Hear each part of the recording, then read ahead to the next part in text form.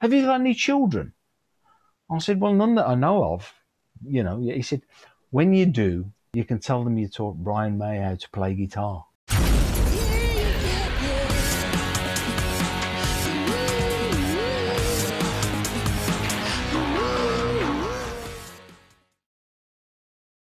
Hey, Bingo.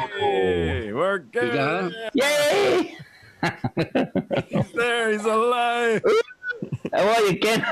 My baddie is back. Stop. I've with been the looking English at- jokes. No more English jokes. No more English jokes. no, it's from Coventry. Joel's from Coventry, so, you know, we got to be careful here. Cambridge, but I came when I was a little. Well, there's no but. Yeah, from Cambridge originally. Sorry, yeah, Cambridge, yeah. Cambridge. It was, It was it, what's the Coventry link? Was that your father with the cars? My father. So, um, Jaguars. Jaguars and whatnot. Yeah. Yeah. So my father, he used to say he was Stirling Moss's pit boss. I don't know. Yeah, that's, I don't know, it was bullshit. Why not? But I do remember as a little guy, uh, Fangio and Stirling Moss. I don't know if you're into Formula One. yeah, yeah. it's boring or not. But uh, so they came here that Laguna Seca. We have a racetrack here called Laguna Seca. I remember it was the year of Mercedes, so they bring out all these 1920s, I mean, beautiful cars, and they had them both there. And I, I, a little guy crawled through their legs, and I gave him my cap to sign my cap. And I remember Stirling saw my father, and he was like, "Oh, John." And we went back and we had dinner with him and Fangio. What I remember about Fangio is he couldn't, Wow. speak, couldn't speak any English, so he just Wow, kept smiling at me and be like, good boy, you know, good boy. But I'm like five years old. so it was a different way to grow up. He's the race. Fangio's like infamous. When Uh, him, wow, wow. It's neat as an adult because it's a different kind of story. I don't know. You, so I, I still have my cap with my, my signatures, but it reminds Oh, me cool. more of my father than those two guys, really. I Yeah, mean, yeah, just- I remember he was so proud of me because I got down on my knees and crawled through all the legs, you know. And what guy's I going to the table, yeah. yeah, I'll cruise through. And I got there, and then we had dinner with him, and uh, he was very Thing. nice, Stirling. He was very, very, very nice. He was, he was, it was, it was Cool. good to see him. And I don't know what. He's, The, from Birmingham as well. oh, really? Yeah, yeah, from this area where I am, yeah. Yeah, Stirling Hmm. Moss. All green. Mad Brummies. I still have a bunch of my dad's trophies from uh from England. From uh, oh, I should know the tracks, but they give you like plates. So I have these Yeah, silver right, yeah. plates and, uh, yeah. and a few trophies and. Oh, I don't know. It's a bit of fun. It's definitely a different time. But back when he raced, when you look at the pictures, he had a pet monkey, and he would go racing with the monkey. Yeah, it was like, wow. And then, then And- I have I have some of his suits still from racing cars. I oh, no they're, way. they're Wow. great looking. I don't know how safe they really are. You did Oh. used to say we raced without a helmet, but that's not true. They did. They did. No, but they had haystacks all around the side of the racetrack. And what, what you know, you're driving around with loads of fuel in your car. What do you really want on the side of the racetrack when you're racing? Let's put haystacks there. They'll really catch fire. They'll block the people. Yeah, well, you blow the whole damn neighborhood up. Yeah, yeah. Well, let's do some intros so these guys know who you are. How's my lighting all right and everything? You all right there? Is it looking good now? I got it on. Oh, you're looking good, baddie. Yeah, you're good. You're a little bright, but I think it's all right. I think it'll be all right. I can I can deal with that. And All how's my hair? Is am I still going bald? Yeah, you're still going grey and bald. You're doing, you're doing good. I was, I was, at a, I was at a pub the other day, different pub, by the way, can different pub. And the guy asked, because you're wearing the mask, and he said, Do you, uh, he said, Do you have your ID on you? And I took my hat off, and he just, he laughed at me. He's like, You can go in. Well, okay. Yeah, thank you very much. it's kind of, carry on. yeah, yeah, carry on, carry on. So, all right, here we go. Uh, hi, my name is Joel Miller, and today we are listening to my podcast, Party Like a Rock Star. We're brought to you by Misha's Kind Foods. They're an LA based small business making the world's finest non dairy cheese spreads on the market today. They're delicious and healthy, made from a cashew and almond milk, and blended with various locally sourced fresh herbs, vegetables, and spices. No vegetable oils, soy, fillers, starches, or nutritional yeast. Today's first guest is Kevin Batty Walsh. He's worked for Weapon of Peace, Ruby Turner, Earth, Wind, and Fire, Jeff Lynne, George Harrison, Metallica, Slayer, Tesla, Celtic Frost, Black Sabbath, Alice Cooper. He toured for 13 years with Iron Maiden. He's worked with T'Pau, Bad Company, Soundgarden, Motorhead, Zucchero, Men at Work, and in 2003 he stopped. it's kind of mean. In 2003, he stopped touring to do some teetotaling shit for a company called All Alliance. That's right. Ken Barr toured for 20 years with Kiss, Alice Cooper, Stone Temple Pilots, the Bangles Rainbow, Debbie Gibson, and Air Supply. In 2014, he released a short film called Hollow Ground. He's written multiple books, including We Are the Road Crew. And that one is obviously about his music career. He ran for three years Road Crew Radio, and I'm sure many of us roadies listen to it often. So it's good to have both of you guys here. My first question is to you, Batty, and I would ask you when you uh, when you do prefer to dance, do you dance to T'Pau or Motorhead? Motorhead. Motorhead, it's easier. Yeah. Much easier. It's Yeah, not, so fighting, mind you. It's it's not fighting. It's supposed to be dancing. T'Pau's a bit more like this, you know. Carol was a bit, you know. This the Motorhead's a bit more like that. Yeah. But dancing, oh no, don't you know? It's nearly as good, well, nearly as bad as me singing. And Kenny could probably attest to that as well. You know, we're not Oh, very good good Lord. dancers. Although I have seen you dance quite a bit. Yeah, I know. Yeah. On it, is a, it tables. something to behold. Yeah, table dancer and part-time table dancer. Did either of you ever tour with Davey Kirkwood? Did you do Air Supply with him by chance? Dave Kirkwood. I know Dave Kirkwood was uh, he he did Zucchero with me. Oh yeah, Scottish Dave. Scott. Yeah, Yeah, yeah, yeah, yeah. Yeah, a, a wonderful guy. Uh, he's no longer with us. God rest his Yeah. soul. Um, I did Zucchero with him, and we. I was in LA for a bit, and Davey lived out there. What a great guy! And Yeah, he lived. He first lived by my came mom. So my mom's a real. across- Oh, right, went, okay. she went door knocking, and she calls Yeah. me and she goes, "I'm." Or no, he called me. He called me. He goes, "I'm here with your mom." I'm a what? He goes, "I'm with your That's mother." never- She knocked on my door. That's not something you never want to hear. No, no, Hey, come, not coming from him. Not coming from him. I'm coming from yeah, roadie type. That's And my the mom last is thing he, you want to hear.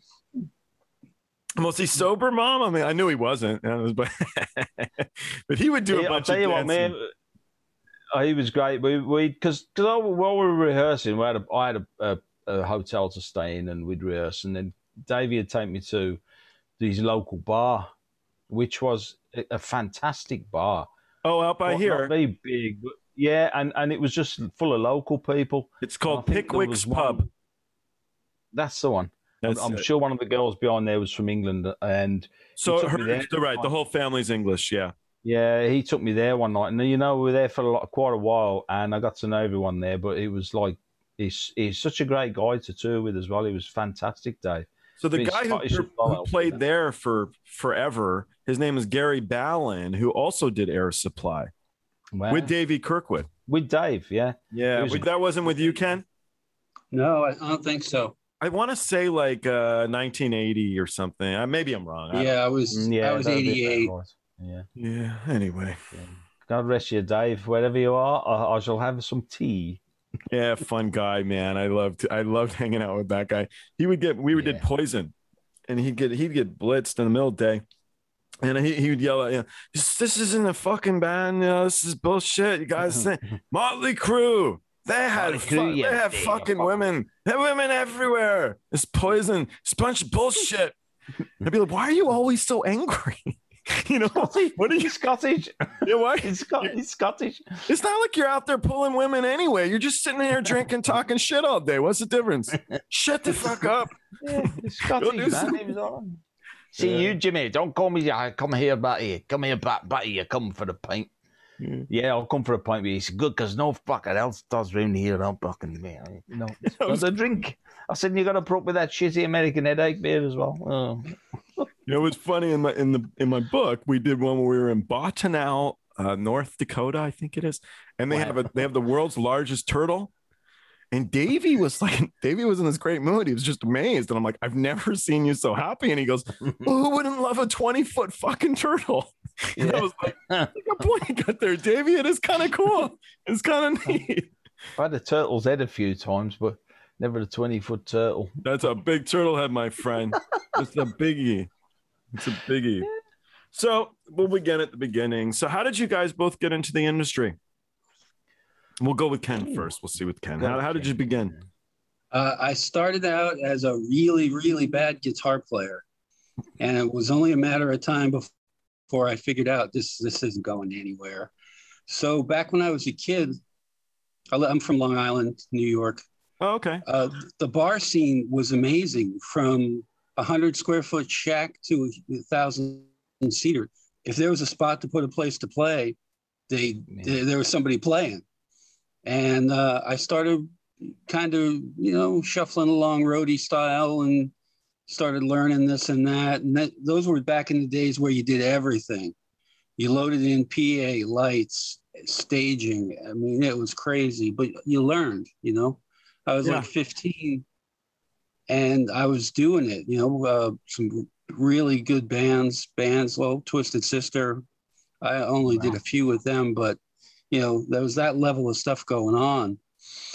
So I started doing that, and it made money. Money came in instead of going out, and I loved. I, I realized I loved doing it, and I kind of ended up gravitating over to backline while I was, you know, still a kid, and it just kind of went from there. Um, I had a Still have your job. first. Uh, you still have your first guitar?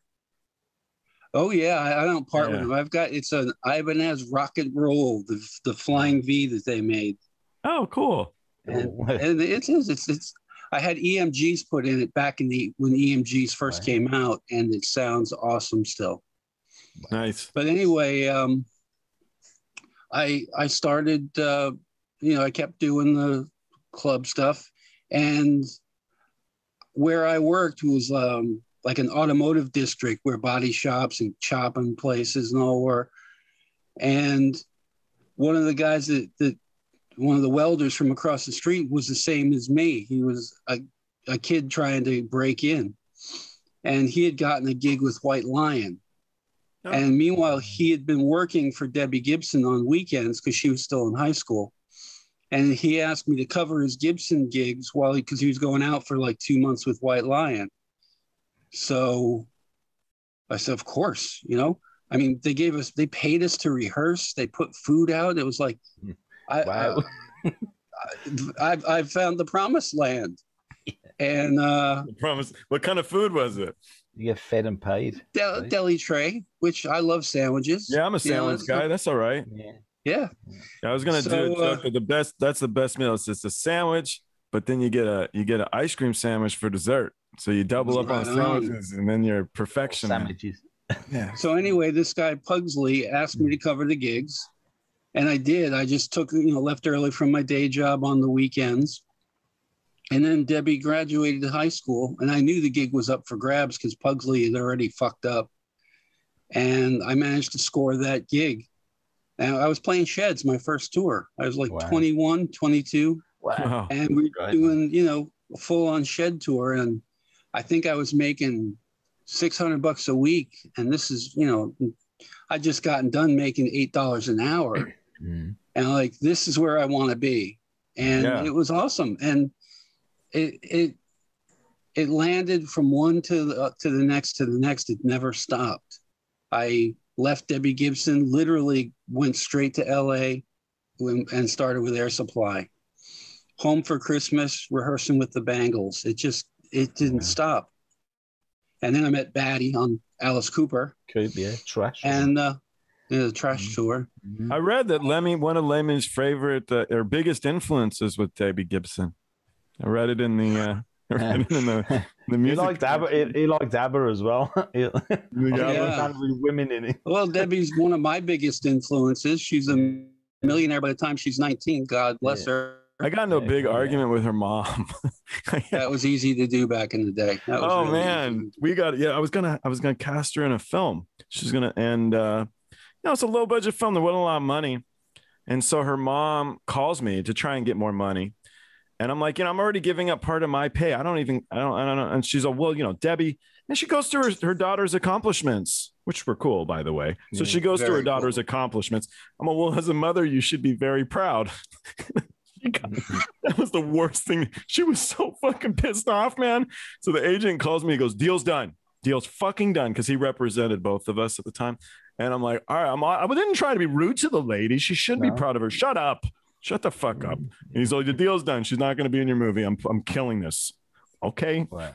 So last time, then uh, Deborah, she likes to be called Deborah. So the next time I saw her, she was cool. It was cool. She was all right.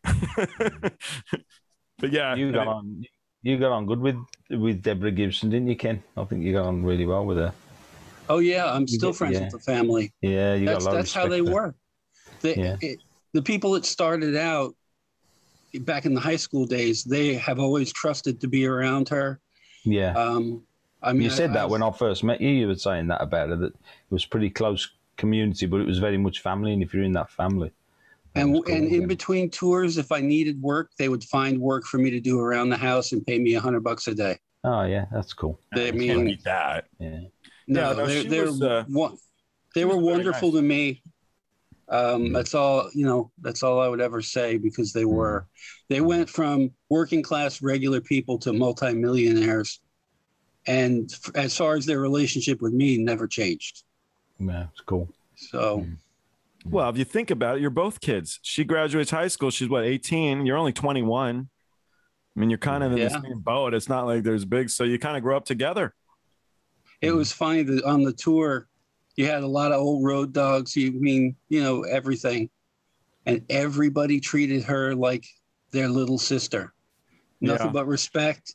Yeah. Stagehand passed a comment. It, wa- it was taken care of pretty quickly. I mean, the whole the whole crew Mm. was, was like just the crew of big brothers, and I think that's what she needed for the first one. It's got to be intimidating. You're a kid, you know, you're out of high school. It's all exciting and everything, but it's a big deal. Youngest yeah. youngest person to write produce uh, a number one hit. Seventeen years old. That's neat. I just, it's bad. but I just think of, remember Bill Hicks, the comedian Bill Hicks? Yeah. I uh, you know, he, there was, he had this whole rant. He would go on and he'd say, uh, you know, Debbie Gibson, go back to the mall you spawned from. But the Mhm. idea was, you know, more drugs for bands. They're better. They sound better. Give them drugs. Give them drugs. Nice. Yeah, poor Bill died early though, so I don't know. Yeah, uh, yeah. So he's gonna go know when to stop. Yeah. Yeah. Speaking of drug addict bands, so how did you get going, Batty? That is the other side of Yeah. the coin. the other side. Well, I, no, no, no.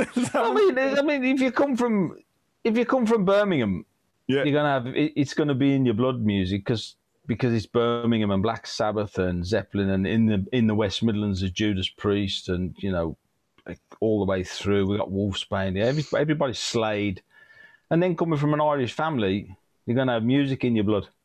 Sure. And I never really, I mean, I never really played anything. But when I was, I always looked at guitars, and I was, when I was 17, I bought myself my first guitar. And yes, I've still got it. Nice. Forty pound B and M classical concert thing, and and believe it or not, learned some chords. I thought I'll get an ABBA book of chords. I've still got that too.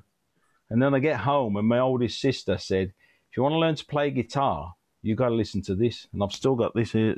She gave me uh, an LP of Hank Williams. Oh, neat. said, Learn to play those. I got a thinking, oh, you know, Here, I'll show you some. I've got to learn Black Sabbath, or, you know, and all this. But he- he's gone on the man. He's gone on the. I got. I got to show you Ken something here. Hold on. I'm gonna off mic there a bit. There. Wait a bit. Hold on. You know, I've heard you say that before, Batty. I've got to show Ken something, and it's never gone well. Original Hank Williams from uh, It's just it's. Holy shit. 19 showing what, 1930 something? Yeah, phone's back. The roadies. Holy shit! Not Wow. cool. Let's show that again. Let's see that again. 1949. 1949 Hank Williams poster. Oh wow! Oh wow! Yeah, now you see. There you All go. right. See, if you want to learn guitar, you got to learn that. And if you want to read a good book, you got to read that. Oh, there you go. and it's a follow up by Jeff Mann, the drum tech. But but I mean, go- uh, And, and Batty was so literate. Yeah, Batty's it's next. got lots of pictures in it. You got a lot of pictures in it. and mine's What? next. Yeah, I'm on the trio. I'm go- it's on the way. For those listening, that was Ken's book he just held up. Yeah, But yeah, the, the uh. I don't know. It didn't look like it was very well read. That looks pretty new still there. Are you saving it? Uh, No, no, it's well well read because I, I got it online, didn't I, Ken? I downloaded it, and I only got this a couple of months ago. And and I'll tell you what, this was like gold dust to find. And I even texted you, Ken, didn't I? Say I found a hard copy of it, and it's in pristine condition. Because Ken, I know you don't like dog-eared pages. That's Don't like right. hate that. You That's hate right. that. This is pristine, and yeah, yeah, I'm, I'm going. It's like that's there's bits in there that uh, are jogging my memory for my book because we had, I mean, Yeah. we had some great times together, you know. Oh, we did. I mean, when- Absolutely. When I, I pre- it's it's weird me and Ken never met because the, the, the path we took was the same but three thousand miles apart. Yeah. Yeah. And and and I did local band. I was I left school and I wanted to be a draftsman, pens and papers and drawings, buildings and stuff. And I did for six years. I've still got the drawings here and they look like works of art. So this uh, day, there's this other guy. His name's John Lennon, and he kind of he did a Yeah. little bit of drawing too. Uh, maybe maybe drawing. He was yeah. He was he was more of a like drawer. I was more technical, like you know engines and things. Oh, you're Like, clearly much more talented Yeah. than John Lennon. Yeah, I for couldn't sure. I couldn't do like I couldn't sketch like he could or any of that. No, and not. And and next door to where I worked, I was getting. I was getting thirty pound a week as a, a trainee draftsman, All right. and and I was playing in an Irish country band two nights a week at the weekend, and I was getting sixty pounds. And you're playing cool. guitar. You're playing guitar, right? Yeah. Yeah, and I thought there's something wrong here. Playing country and western, and I'm getting twice as much as I am doing this, uh, building sites and drawing all these great drawings. And then next door to where I worked, a local band who were doing really well, but there was an abattoir next door, and used to, you know, kill things. And and, and I look out the window one day and I see one of these guys with a wheelbarrow, and I'm like, that's Brian from UB40, who were like huge then they bought that place, turned it into a studio, and there's me looking at my drawing board, looking out the window. I'm thinking, no, something's wrong here. So I got my all my drawing tools together, put them in a plastic bag in my lunch hour, and said to the secretary, "I'll see you. I'm going off touring the world." And she went, "Good luck, Kev." and I sent, sent sent him a postcard a few weeks later from Israel with haircut 100. But th- there was a gap there. I while I was drafting for five years, I used to go to pubs and watch pub bands. And Sure. there's one partic- one particular band in Birmingham that were called Mean Street Dealers. And I used to watch them every Monday, and so whenever I could watch them, I'd watch them. And I just liked the how they plug things in and what the knobs did on the desk and all this stuff. And my family were very uh, engineer orientated and keep things going like the television and the what whatever. And I was into all that. And one night they got stuck. There was two guys, Brian Brian Evans, who's no longer with us, bless him, and Pete Russell, who's a, one of the best sound engineers out there. And they said, "Do you know what backline is?" I went, "Well, yeah, it's all the it's all that gear on stage, all the amplifiers and the drums and the, all that." And they went, "Do you know what the lemon is?" I said, "The lemon's the van outside." And they went, "Very good. All the backline goes in the lemon." and that was it. I, got, I was a roadie then. I- That was that. That's it. I went touring all over with them. I still see them today. They're still around. And I think, like Ken, you, when you start doing things, people go, "Yeah, give him. A, he's good. Give him a try." He can get the Yeah. gear in. He knows what the gear is. He knows which way up it goes, and he knows what the flashing lights do. And he can plug in to out and out to in and get it going. And they give you a break. They just give you a break. Same with like Ruby Turner. I got a break doing her uh, back line, and then the sound engineer went off to Holland, and they all said, "You can do it. You've been with us a few weeks. Can do that." And I was thrown in at the deep end doing Ruby for, for four or five years, all over the place. And again, that stepped up to them saying to a guy, "Come and look at this guy we got. He does sound and backline all at one one place in Birmingham, Cannon Hill Park." And he came up to me, Steve Gonzo Smith, great monitor engineer, still out there, and he said, uh, "Have you got a passport?" I said, uh, "No." He said, "Get one. I've got a gig for you doing drums and percussion." And I'm thinking, just two things. That's great. He said, uh, "We're going to America. It's with uh, Haircut 100, massive pop band." And my very first gig in America, very first time I set foot in America, was Radio City Music Hall. Oh, cool. And it's like, yeah, this is the Union Crews, by the way. You soon find out what a Union Crews, right, Ken? And the very Oh, next yeah. two, two nights later was the Ritz. And I know Ken played at the Ritz. And I'm thinking, how Yeah. we never met? Ken done the Ritz. You've done the Ritz loads of times, Ken, haven't you? Oh, the old Ritz. I was always in there. Yeah. Yeah, and it's like, well, we, we kind of had 3,000 miles apart. We had the same kind of thing going on with bands, and, and just like somebody giving you a break, and you get a bit more of a reputation and get a bit more, and you can drive a bit, and you can set everything up, and everybody's cool that you know what's going on on stage. And if something goes wrong, you'll put it right without a fuss. And it, Yeah. it's like that, isn't it? Ken, it just builds and builds and builds. And I mean, my first Coop tour, I'd never met this guy called Steve Botting. Ke- Kenny Yeah. knew. And I got a phone call. I'm sat at home at my mum's in Birmingham, and I get a phone call. Can you can you come to Paris tonight? Yeah, okay. It's Alice Cooper. Oh right, okay. I just saw that gig at the NEC two weeks ago. Yeah, we need someone to do all the guitars, the keyboards, and well, basically we've got a drum tech, and we need a tech to do the rest of the back line, all the yeah. And I fly out there and I meet them, and then they tell me you got to wear this ugly mask when you go on to change a guitar, and you got to wear a coat, walk with a limp, and you know, kick Alice once in a while. Yeah. And 87, raise your fist and yell. And I did that. It was great. That's where I met John Chizuli and Tim Gallup, two great guys, and Dancer, and you know all these people. And the next tour, I get called back, and I'm doing the bass. Uh, I'm doing Al Pitrelli from your neck of the woods.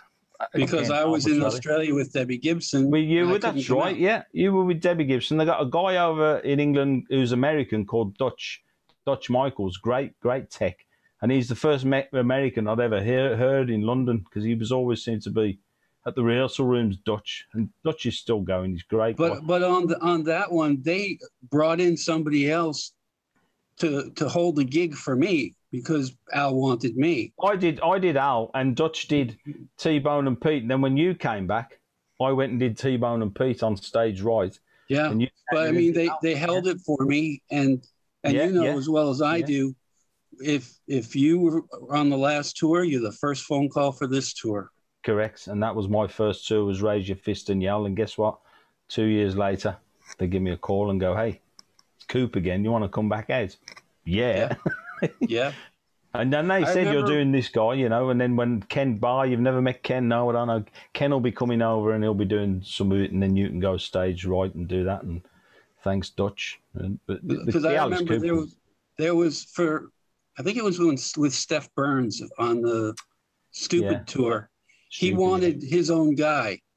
That's and he tried he tried strong arming them like well i don't know if i can do the tour eh, without my guy and they, they were like all right bugger off Don't do the tour, then see you later.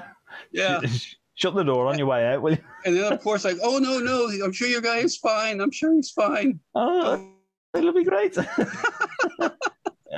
that's the thing about the. I mean, that's the thing about Coop. The Coop, the Coop Yeah. family is when you you get the call. I mean, and Alice Yeah. is like just a total s- and, sweet. and there's no difference in band and crew first is first Yeah, that's right. Yeah, yeah, great company. Coop's Yeah. great, man. He's Did great. one of I did mean, either you- did you uh, Eric Dover? Did you do that? Did you work with him with Alice Cooper? no he came in after i i left or in between um i did i did uh 90 91 um 95 we went to south america Yeah, and then 96 i came out he he falls in there somewhere but no i didn't work with eric dover no, I didn't do that. No, the only Eric I was with was with Sherinian, our good friend. yeah caligula Derek, Derek Caligula and, uh, and Eric uh, Eric Singer on drums, great drummist. Oh, fantastic! yeah yeah, Oh yeah. that yeah who i ended up drum teching for That's right. Yeah, yeah. You know, the great guy. Well, those Coop guys are great. You know, they're so cool. You know. So I read Yeah. online here. So you got the name Batty because you're the one who threw the bat at Ozzy Osbourne. no, that's no. well, I i've never heard I that wouldn't do that. No, I never did. He's from Birmingham. I wouldn't do that. Oh no, he's an Aston Villa fan, and I'm a Birmingham City fan. You know, I wouldn't throw a bat at him. You wanna throw a Um, bat? No, the, that'll be in the book because th- there's probably only three or four people that know how I got that name, and they are definitely from Birmingham and Wolverhampton. And no one i know how Did I tell one you? One American one american knows how Oh, and one American. I must have trusted you. Well, I do trust you, Ken. You know, oh, yeah, and and it's in the book that is. But yeah, yeah, I didn't. It's it's not actually. It's nice to think that I might have thrown the bat that he, you know. it- No, me and Ozzy, well, I've I've toured with Ozzy, and then he's great, man. He's great. I've seen him some fully shades of grey and green in the mornings, and you know. he's- I'm a oh, fan. I Uh, thought they were Hey, cool. Him and Sharon man. too. Sharon was really good. Yeah. Nice. i've got a good ozzy story What do you got? Better than fact, I've Batty's never- nickname. no we were doing South America, Monsters of Rock, Alice Cooper, right. Ozzy, Megadeth. Yeah. Blah, blah, blah. So we're finished. Our stuff's in the truck, and uh, I'm hanging out waiting to watch Ozzy. So I'm upstage right, and I see a square taped to the floor, Yeah. and I thought to myself, that that looks like a good place to stand. Don't leave the square. Don't leave the square. John So I'm in the don't square. And all of a sudden, the lights go down, and I'm moving. That was that was Ozzy's preset to to where to be, and I'm standing in it. And you like, was it was Security- it the same there where the security- tape the tape is like this thick? All, So all you of a sudden, you're on see, like, stage. here's the square. It's like So never stand in the square stand because it's there. usually for Ozzy. Yeah. Well, when I when I was with uh, with Maiden, uh, Janick, I was with Janick for thirteen years, and and his his stack of cabinets are all live, apart from the one on the end. They are loaded. They're loaded cabs. You can plug them in and use them, but those are for him to come and smash the shit out of Hendrix style with his guitars. And we'd put them back up, and you know, and I would put behind those cabinets. I'd put a massive big square and in there, I'd write, do not stand here during showtime. And the crew knew it. They, yeah, great, you know, it's all right. It became a bit of a joke, but everybody knew why. And one night, uh, Nicko's wife stood there and I was tapping her on the shoulder going, Sweet pea, don't stand there. Don't, it'd be all right, be all right, don't. And I give up in the end. I went, no. And Nicko's looking down going, don't, don't stand there. Fuck off. And Janick comes pelting past. And I have to grab her, pull her out of the way as the cabs go flying. It's like, I told you not to stand there. It's real. He goes survival mad. the roadie fittest. He knocks him over. Nicko's like, oh, thanks, Batty. Saving his wife. And another square behind there. And everyone's like, what's that empty square behind the stacks for? Well, we all knew, all the back line and all the crew knew. And someone would stand there. The manager stood there one night. I didn't say anything. I let him cop it, you know. Big rod. He should know better. Yeah, he should know better. Yeah, just have it, you know. I mean, try and say Janick don't. Janick will just do it anyway because he knows someone's behind there. So he's going to do it, you know. Part of the show. Show must go on. Yeah, That's it does. right. Yeah, it must go on. He was, he was sound, Janick. Sound guy to work for. Brilliant. What was the other one? So I, I did cheat. I actually listened to some other stuff with both of you guys. But the one with the the Iron Cross on the amps was good. That's good.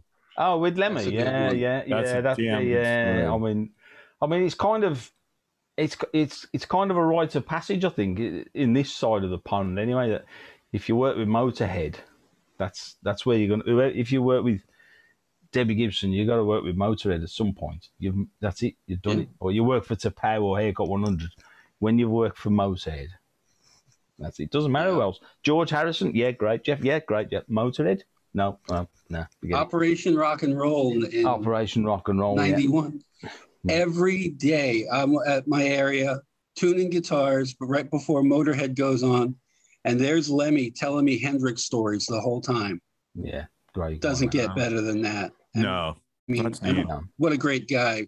He He, didn't care about his gig or, you know, I'm Lemmy from Motor. Motorhead. It's like, did No. you know I was a roadie for Hendrix? I'm like, Yeah. well, yeah, yeah, you told Yeah. me yesterday, but yeah, and it's, it's great. You never, Uh, I never worked for Hendrix, but I worked for his roadie. Lemmy. Yeah. you know, that would have been a good shirt. That would have been an awesome shirt. Yeah. The thing But- with the crosses were we were at a, we were at a gig in uh, in Europe. We were doing Europe, and on his cabs, everybody knows he has those cabs. He has big like iron German crosses, real the real deal, and they're, they're bolted in the centre of the speakers on the cabinets. And uh, and one day halfway through this show, I'm sound checking it, and I'm thinking, what's that rat? What's that rattling? And I walk over to the cabinets, thinking it's the speakers or the, the mountains. And it's these iron crosses, these German iron crosses. They're all a bit loose. Oh, right. So I get a screwdriver out and I tighten them all up and thinking, there you go, that's that then. They forget all about it. An hour later, Lemmy walks in. He's, I'll tell you, man, the sound wise, he's got it. He walks up to his amps, he turns everything full up, rubs his hand across them and starts thrashing away. And then he stopped in, he walked over to his cabs, looked at them, and went straight for the iron crosses grabbed them and they didn't move. And he went, Bat! I went, Yeah. Do you tighten these iron crosses up?" I went, "Yeah, they were making loads of noise." He went, "It's part of me sound. Fucking undo them again." I can love it. I had to go back and loosen them all up. And then you start doing your sound check and loosening the iron crosses off. Going, is that all right, Lemmy? No, me loosen them some more. How's that? Yeah, that's fucking, that's off me. sound. Part of me sound, man. okay. Not uh, first rehearsal I did with them. John Henry's walk in there. I knew them all. Walked in the room. They're all in there. They've been round the pub. I go round the pub and have a pint with them and come back in. Lemmy puts on his guitar, starts thrashing away, and two big puffs of smoke out of his two amps. He takes his guitar off. Batty! Oh, yeah, I know, Lem. Yeah. We'll be round in the pub. his amps just blew up. And you take these things apart, and the world and its mother's been inside these amps. There's all sorts of stuff going on in there. I found Shergar's saddle in one of them or something. You know, he's just full of stuff. Spend an hour fixing them, go back round the pub. They're all. I've done the amps. back to rehearsals. Thrash away, five minutes. Ah, let's go back to the pub. Great band to work for. Fantastic. Yeah. Good people. Brilliant. Oh, great people. Ken, you're right. Really good people. Really good. I mean, you know, let me. You, do you rem- do you remember Phil Campbell and the and the vodka? Do you remember that story? No, the vodka. I well, mean, um, Phil Phil Campbell used to bring out a, a solo cup full of vodka and, and oh, cranberry, yeah, yeah. and he'd put it on his amp, Mm. stage right. You would come over and steal it. That's and right. Oh, drink yeah, it. Yeah, and drink it, yeah. So instead of being a douchebag, he just started bringing out two, Yeah. one for you and one for him. I'm like, yeah. that's a guy I would work for. That's it, yeah. Yeah, that's How did he I catch now, you? yeah. How did he? How did he know it was you drinking it? Well, I was a, I was a bit slow one night. No, no, was- Batty would Batty would stand there and do this while he was Yeah, drinking it. oh, yeah, But didn't want to say it. Go, mm, You know, there's was so Dean DeLeo was to switch up a tad. So I was uh he he he he drink wine, red wine, and uh or maybe it was white wine. He would drink wine, and it, you know, come here, come here, and I would, you know, what do you want? So I, went up, and he he grabbed me, he dipped me on the stage, and he kissed me right on the lips. And I, I'm I'm 22. I'm just so pissed off with him, and I, and I stood up and I'm like, I'm I'm gonna tell your wife. And they stopped the show. Scott and everybody, they're all laughing, like, what the fuck was that? You know, I'm gonna tell your wife. So for like, I should have shut up, man. I had at least a solid week. If everyone winding me up all week, I'm gonna tell your wife. Fuck you, fuck you. So it was like a week later, and he's like, "Come here, come here." I'm like, "No, man, I'm not coming anywhere." I'm like, "No, you do your own shit. I'm not helping you with nothing." So what it was is he uh, wore a beanie that actually said queer. He wore this beanie and he wanted to hand me the beanie so that he didn't lose the beanie. And I was like, okay. And I would tell people the worst part is his lips were so soft. Oh, Oh yeah, my that's it. Yeah, yeah. His lips Oh, are where's- so soft. Oh, See, I, I never livid. I never got any of that, so I wouldn't know. Oh, how unfortunate for you. I think that I think that the, Shame. the the ultimate Lemmy one was the, we were on. I was working for Maiden, and it was Monsters of Rock in Europe, and we were in uh, Germany, and there was Maiden, Motorhead. Uh, I can't think it was might have been the Almighty as well. We, Ken knows a great band. Oh, those. Yeah, But- Ricky has a new record out, by the way. Yeah, I've seen that. Yeah, yeah. It's worth it's worth a hap. Actually, I I know we're jumping topic. Coop's new record. Yeah. Not only did it is it awesome, went to number one. I saw that. No, Oh, yeah, cool. yeah. He's, yeah. anyway, I mean, sorry. Go ahead. Go back. They never stop. That Ricky never stops. He's great, man. And I, that was a great band, the Almighty. I love that band. Oh hell yeah! And they, they, we were doing Europe and this May, uh, Maiden and then Motorhead and and um, Hobbsy came up to Hobbsy was May, um, Motorhead's tour manager and everything and the sound guy and and he came up to me and he, I'm doing Janick's guitars and, and he came up and after he went um, uh, Lemmy Lemmy might be looking for you when he uh, when he turns up. I'll just just to let you know. And I said, "What's he want? I don't know him anything. What's he want?" He said, um, um, his roadie ran off last night. I said, his roadie's about 14. He's from Brazil. He ran off. Like, we're in Europe. What's he know? He's never been out of Sao Paulo. What do you mean he's ran off? He said, well, he, he got off the bus in the dark in the middle of Germany and he ran off and we don't know where he is. I'm like, so Lemmy wants me to do his guitars. Is that the, what you're saying? He went, yes, I just thought I'd pre-warn you. I went, you don't have to pre-warn. I'll take care of him when he turns up. And a couple of hours later, Hobbsy comes back. He goes, um, "Lemmy's, Lemmy's here. He's in the, he's in the Portugal, the dressing room." And I thought, right, I'll do a Flashheart. If you watch Blackadder, there's a character called Flashheart, and he's like, ah, ha, ha, I'm back and kicks doors open and stuff.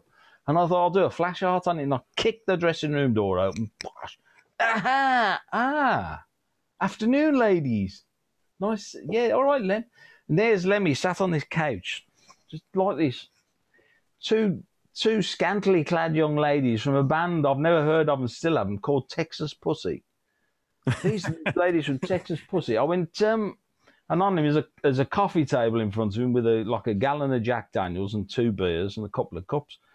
I said, I hear you're looking for me, Lemmy. Uh, I don't know you anything, do I? He went, no, no. Um, I was wondering if you'd, uh, if you could, uh, if I could do your guitars, perhaps. Yeah. Was that it? Yeah, yeah, yeah. do my guitar for the rest of the tour. You know, it's only a week left. on.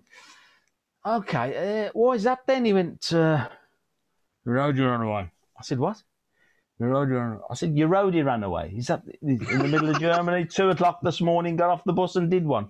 Yeah, yeah, you, you, know. I went, yeah, well, you obviously weren't plying him with enough of whatever to keep him on the bus, were you? And I said, he's a lovely lad. He's only he's from Brazil, 40. What's he going to know about over here? I don't know, but uh, we had a look for him, but we couldn't find him.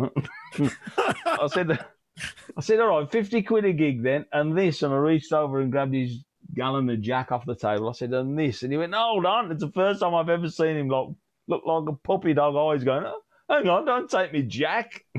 I said, I'll tell you what, a pint glass. There you go. Put it rest. Afternoon, ladies. Nice to meet you. See you later. Oh, and that night, Janick fell off the stage and knocked himself out. And that was the last gig of the tour. So he still owes me 50 quid I'm never going to see, am I? If you're up there. Might be hard now. Yeah, I don't know. It might be tough. What was it? He passed yeah. away. He did uh bullets, right? His ashes are in bullets that he gave bullets. To, yeah, that's right. Yeah, yeah. Family yeah, members yeah. and yeah, and all that. Yeah, yeah. I used to see him all the time because uh, I live in LA. So on no, Sunday, Lemmy it might be sawdust or something. No, Knowing Lemmy, put him in sword, give him that. It was a mix, mixed it together. Yeah, mixed, yeah. Probably speed and, and I got some photos somewhere. I got to find them, but it's uh, Tony Iommi and Ozzy rolling joints uh, in the 70s backstage. Oh, that's old, yeah. That's they're really, they're, yeah. they're, these great photos. Obviously, I, I, met Lemmy in the, in '82, and he was he was in a club in London, the Astoria. It was a, a, a it was actually a theatre. I was doing a gig there, and my pal here in Birmingham, Kenny knows him, Pedro had oh, toured, oh, yeah. with, toured with Motorhead in the 70s, and, and he said, Oh, Lemmy's here. Oh, great, Lemmy, meet Lemmy. He said, Go and play that game with him, the game of asteroids, and you sit there and you play. Well, I didn't realise at the time, Lem, like Lemmy is king of all that. You know, he was, you could stay there for hours on one 10p coin and play all night. And I sat there for hours watching him play this asteroid game, thinking, when's he going to be my fucking game? And you, know, you lost your video. Oh, kid, you'll go put another one in. I sat there for hours with Lemmy, but that to me then that was like, it's Lemmy. I'm just sitting here with him, you know, yeah. years down the road, and he never forgot that. He never sort of you were the little git in the club. Yeah, right, yeah, know. And you know you're doing the guitar, so he's great guy. Great. I'd go to the Rainbow a lot where he was just by himself at the bar. Yeah, he didn't have a problem yeah, with that. I don't think. No, not at all. No, no, yeah. and I, I, I, always, I've always said that at the time I worked for them or came across them, or the time they were on tours with us, I never saw him refuse or not give an autograph or speak, stop and speak to fans. Yeah, always, always had time, you know, always had time, and there was no, none of this bullshit about him. He was just straight. I love. He used to sing uh, the Beatles on Sunset. He'd go into a place called the Cat Club, and okay, yeah. uh, and he'd he'd sing a uh, Revolution usually, and it was just. Yeah uh, Oh, it was really cool to hear him uh, sing the Beatles stuff. Oh, he loves all that, you know. I mean, everyone thinks it's like what he, he's playing, like loud and blow your ears out and everything. Lemmy, Lemmy likes it. He loved the Beatles, loved Hendrix, obviously, but yeah, yeah, big Beatles fan, and he loves ABBA. There you go.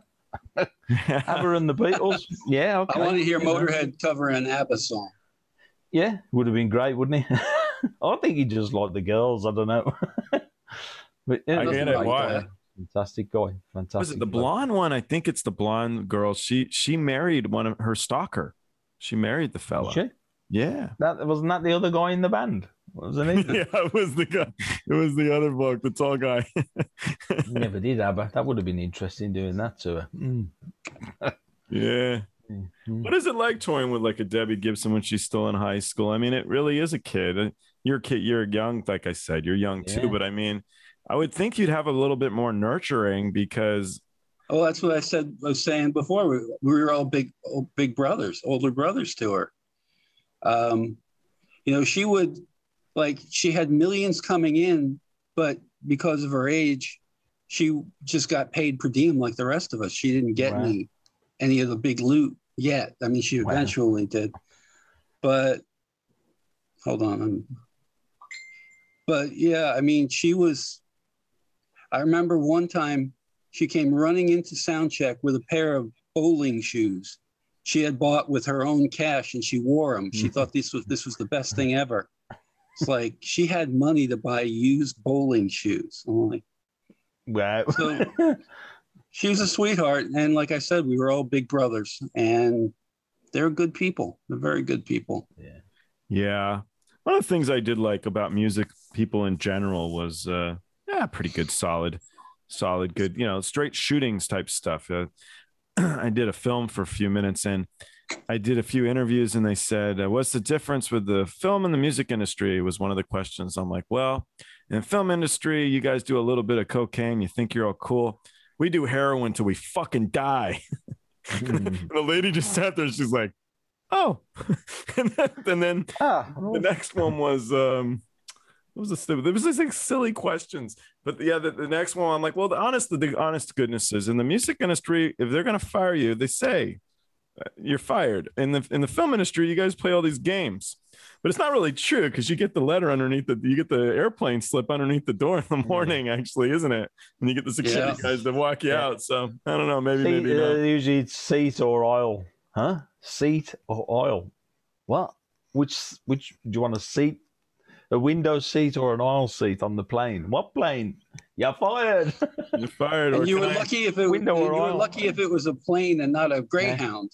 That's right. Yeah. or can I borrow your money? Can I borrow your per diem? Yeah, I'll pay you back Express. next week. Yeah. National Ew. Express in England or a train in England. Wow. Full. No, forget that.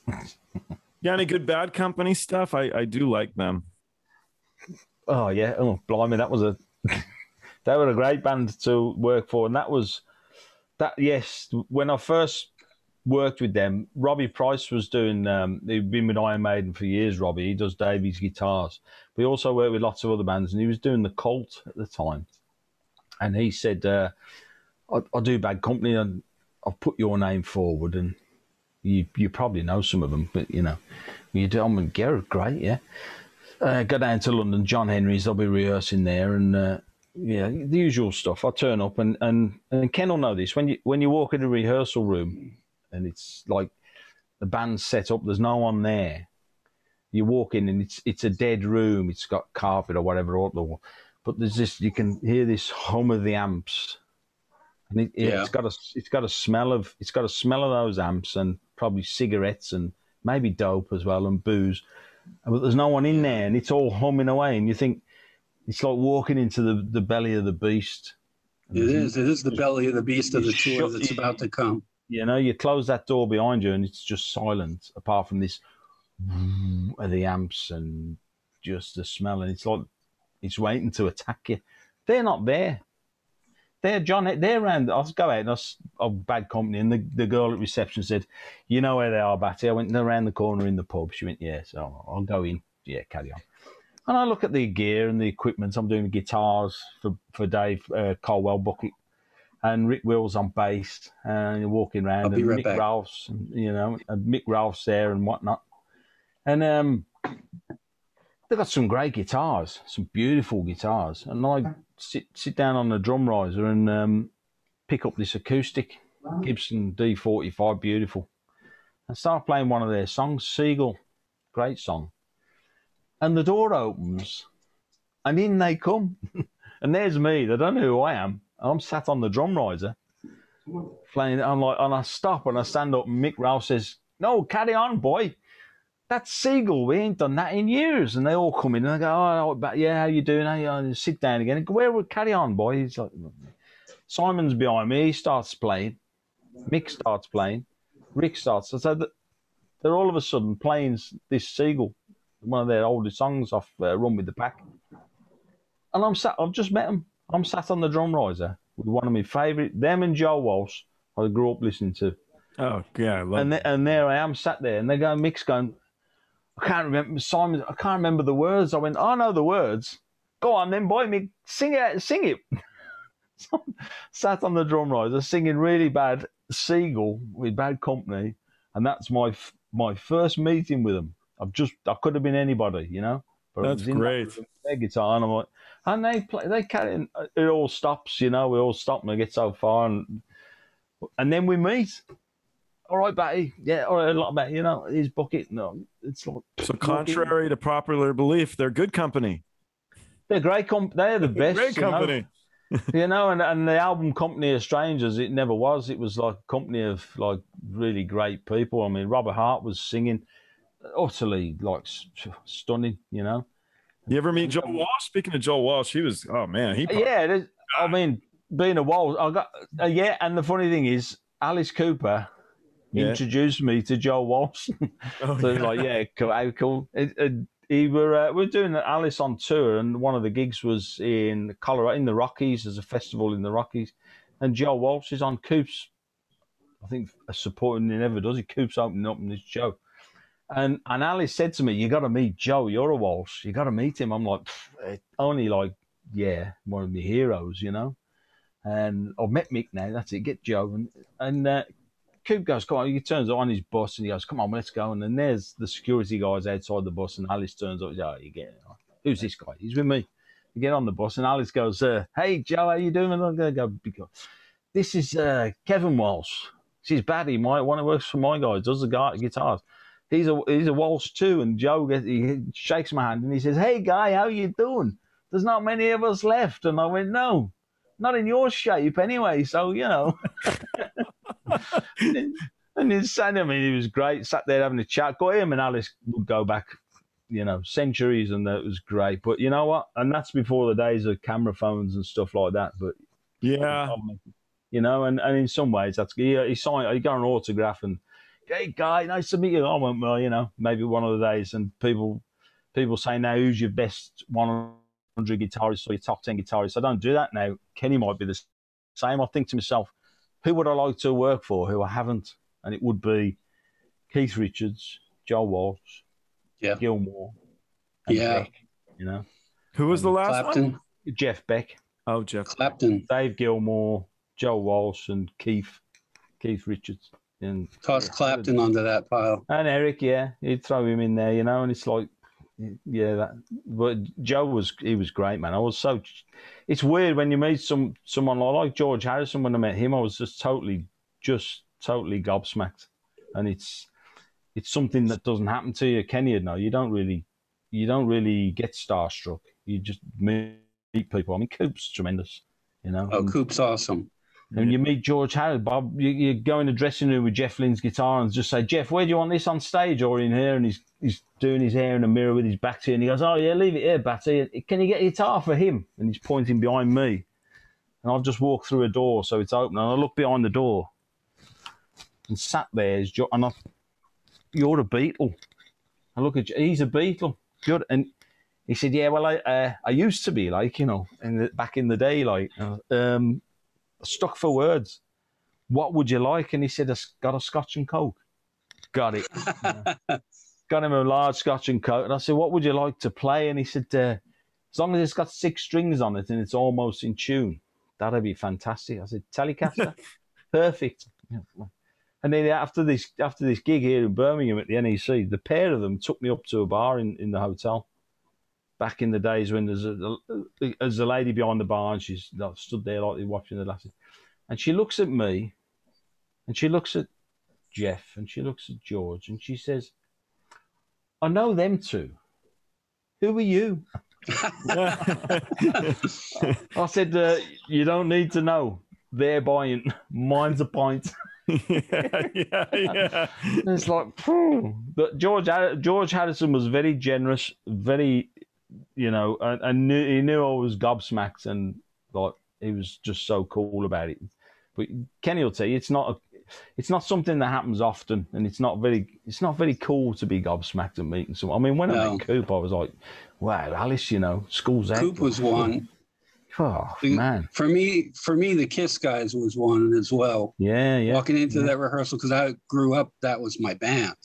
Yeah. I mean, for all their their good and bad and all that, they were the band when I was a kid. And Yeah, man. I remember taking a deep breath and opening up the door to the rehearsal place, and there's Gene Simmons. So yeah, there's only a couple of people that, like as you say, Yeah, yeah. So how long did you uh you did Kiss for years, right?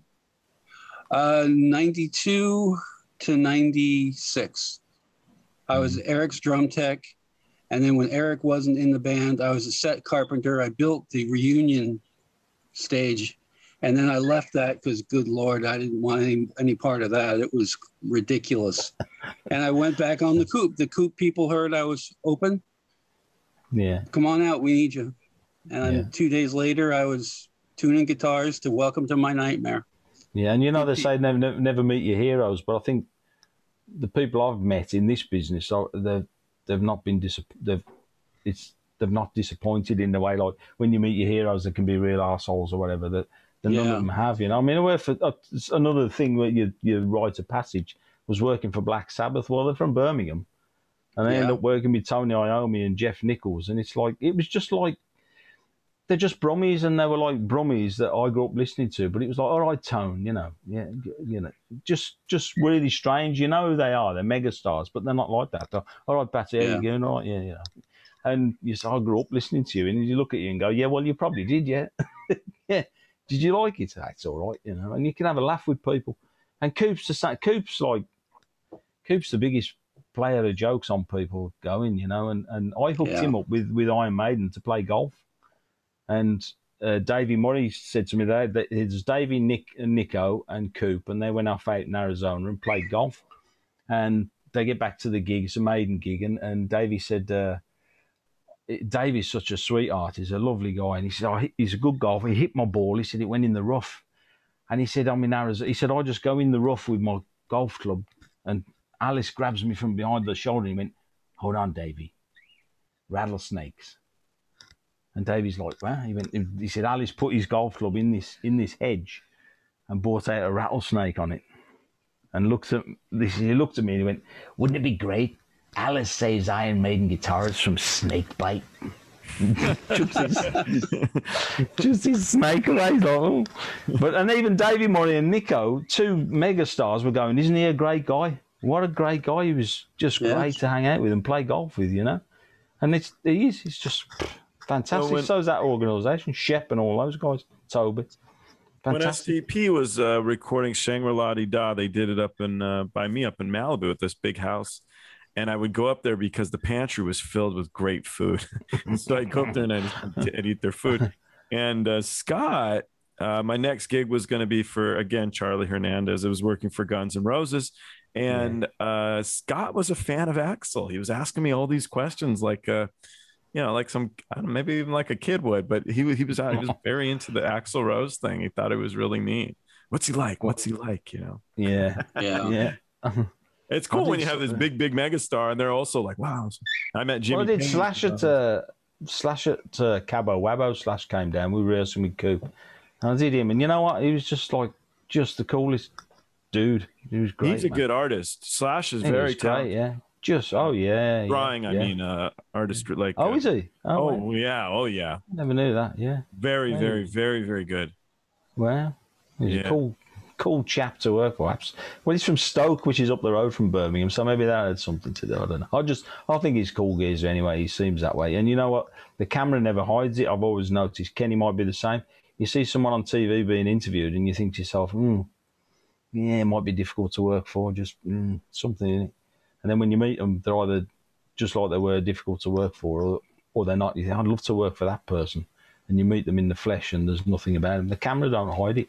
So it's just strange. camera won't hide all that. Not to me, anyway. You know. Yeah, but on the other side, everybody has their off days and stuff, and that's Of course they do. Yeah. fair. You yeah. know, it's not right. People it's not easy touring. It's not easy. It's not easy touring, and, and especially Kenny, you know, being on the on the tube with each other every night on this thing hurtling along the road or on a plane. You all got to get on, and you all know what the end, what you're trying to reach every day, and Yeah. people will have things going on at home that might get in the way, and they try not to, but people get wound up. Yeah.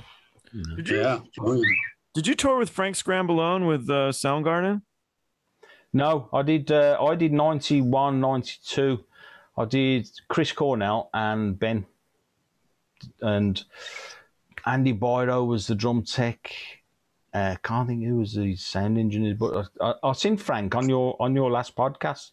Oh, did you watch it? Where I yeah, yeah, yeah, it was great. Yeah, oh, it was great. Those two guys are great. And I thought, I, I, didn't- I didn't 91, 92, and that was another one where I got, I was at home. I just finished Maiden, and I got a call at home from a guy called Kevin Wilkins, who was from Birmingham, who had a lighting company called Concert Lighting with uh, Big Mick from Metallica. And Sure. Kevin had gone off to America to be like a promoter's rep. And he just phoned me out the blue and said, What are you doing? I said, I've just finished Maiden. Uh, what you doing next? I went, Coop. I s you know, uh, what are you doing now? Nothing. I'm okay for a bit. He said, I've, and the way he put it was, he said, I've got this great band here in, I'm in Seattle. He said, they're called Soundgarden. They're going to be absolutely enormous. But he said, the singer who plays guitar goes out on stage every night, and, and the first couple of chords, his guitar cuts out, and he takes it off and smashes it up. And I said, "What's he playing?" He said, "Gibsons." I said, "He smashes Gibsons up." Yeah. I said, "Well, Pete Townshend finds that hard to do, the top of his game." Um, it's a radio system. He went, "Yeah, it is." And he told me the make of the system, and I said, "I know what the problem is." And he said, I'll fly you out. And we got a tour of America and Canada. And you went, yeah, I'll do it. Some with Guns N' Roses and some on our own. Great. Um, and and the problem was with the system he was using is is the batch. Kenny will know this. I, I won't name the system. Kenny will know Yeah. that you, you, you, slide the nine volt battery in, and there's two metal contacts in the back of the pack, and that's all the contact with the battery. When they when they wear, the battery jumps around and you get it cuts out. So what you need is a proper nine volt battery clip like we used to have in our radios when we were kids. Yeah. And a, ba- a bag of those from Radio Shack costs seven dollars, you know. So I fly out to Seattle and Kev meets me at the airport and he said, uh, Chris is here in the hotel. I'll take you up to meet him. Now he said, Look, don't be put off, but he said he looks a bit a bit down a bit down in the, the dumps because of this problem he's having. Are you sure you can fix this? I went, it'll cost ten, seven dollars. That's it, done. I'll do the whole band. Uh, with Chris, yeah, Kev knocks on Chris's door, and the door opens, and, and stood there is this great looking guy, long hair, go suit, cargo pants. But I thought, great looking guy, this is. And uh, Kev said, uh, "Hey, Chris, this is Batty. This is your new tech. He works for Iron Matt." And he went, "I don't care who you work for. Can you fix my problem?" My first words to Chris Cornell were, "Have you got ten dollars?" So he looked at Kevin and he's like, "Who's this guy?" And Kevin went, "Give him ten dollars, Chris." And he'd come in, go in his room. He rummages about and here you go. I said, "Thanks. It's been a long flight. I need a beer. I'll see you tomorrow." And I walked out the, the room. Kevin follows me. He just shuts the door and he's just laughing all the way down the corridor. He went, "How to make friends and influence people?" I said, "His problem will be gone tomorrow." And the rest of the band, they won't have that problem anymore, Kev. There's a radio shack around the corner. I did that. They come in the rehearsal room and throw the guitars on, and I'll meet them. Same like Bad Company. Meet them great, you know. I think these are great guys, you know, just great guys to begin with, you know. And Chris is like, uh, "Hey man, how you doing?" I went, "Ah, hold your hand out, Chris." And he holds his hand out, and I go, you know, put all this change in his hand and a receipt, you know, a bill from the. There you go. That's your change from your ten dollars. Is my problem gone? Yeah, it has. Yeah, never have it again. We'll see. So he throws the guitar on, thrashes it around, and it works fine. He looks over at Kev and smiles, and, and Kev Wilkins says to me, "We never knew he had teeth." I said, "What do you mean, Kev?" He said, "He never fucking smiles. We've never seen his teeth. He's been all miserable because of this." I said, "We're gonna have a great tour," and I tell you what, they were an absolutely stunning band to work for, and their music, absolutely, and his voice off the scale. Forget about it. It's a, Yeah. it's a real shame. I hope you found peace there, Chris, but it's a real shame. But such a voice on the man. Great guys as his well. daughter perform yet? I've seen her, yeah. I've seen some stuff on uh, YouTube, and I think it was with Chris as well. I'm Mhm. sure it was. Yeah, Yeah, and, and it was like, wow, you know, wow. Wow, he was so, and you know what? He was only down in the mouth because because of this stupid problem that cost seven dollars to fix. Yeah. Well, it's know. the knowledge and the, the all of the time. yeah, and yeah, uh, you know, and he had good techs before me. You know, he had good techs. Just couldn't. oh, It's something that I knew with that particular system. So did you make him an Iron Maiden fan? yeah, they were they were like yeah, they they kind of ribbed me a bit, but they were you know what they were great guys. And at the end of that tour, they said, "Look, yeah, we're gonna have a week off. You can fly back to Birmingham, or you know what, we've got you a condo here and, and a and a car. Just stay with us." And there was like Pearl Jam and Alice in Chains and all this stuff going on. And I'm thinking, well, by the time I get back and I got jet lag and I have to come back again, I might as well just stay stay with you. That's great. They got me a great apartment and they said, you go and pick your town car up. Now, coming from England, I'm thinking the town car is like a little Ford Escort or something tiny, you know? And I go down to this showroom and all these big limousines are there. And I said, I've come to pick up a town car. And the guy says, take your pick, man. What colour would you like? I said, I can't drive one of them. I'm from England. but our roads over here don't fit cars like that. In America, the roads fit the cars. Sure. So they, you know, got me an apartment. you called car. Ken Barr out to give you to drive you around? Ken, Kenny, we had a car in LA, and Kenny, you wouldn't let me drive it. I said, "Come on, let me drive it." That one time in rehearsals, and you went, "You're not driving a car, Bat. It's on the wrong side of the road for a start up." I remember that. Do you remember? Uh, I was driving down Sunset once with Vinnie Moore in the car, and Vinnie's a great guy, great Yeah, guitar player, yeah, monotone. He rehearses his guitar Oh, ten yeah. hours a day, ten hours and he talks like that. Look, look at the so we're, architecture. we're, I'm driving, I'm drunk, and he sat next to me, and, I, and he- I hear, Kenny, are you okay to drive? sure, I am. Vinny, why? yeah. You're on the wrong side of the road. he thinks he's in England. Then you wouldn't let me drive. I kept every day, every day, Joel, let me drive, Ken, let me drive. No, you're not driving. The steering wheel's on the wrong side. You're not driving over here in LA. I'm like, and it's the easiest place in the world to drive, America. It's great, man. In big spaces. Yeah, yeah, and just it's easy, and you can on a red light you can turn. Woof, you have to stop. That's it. You can't do any of that over here, man. You got to stop.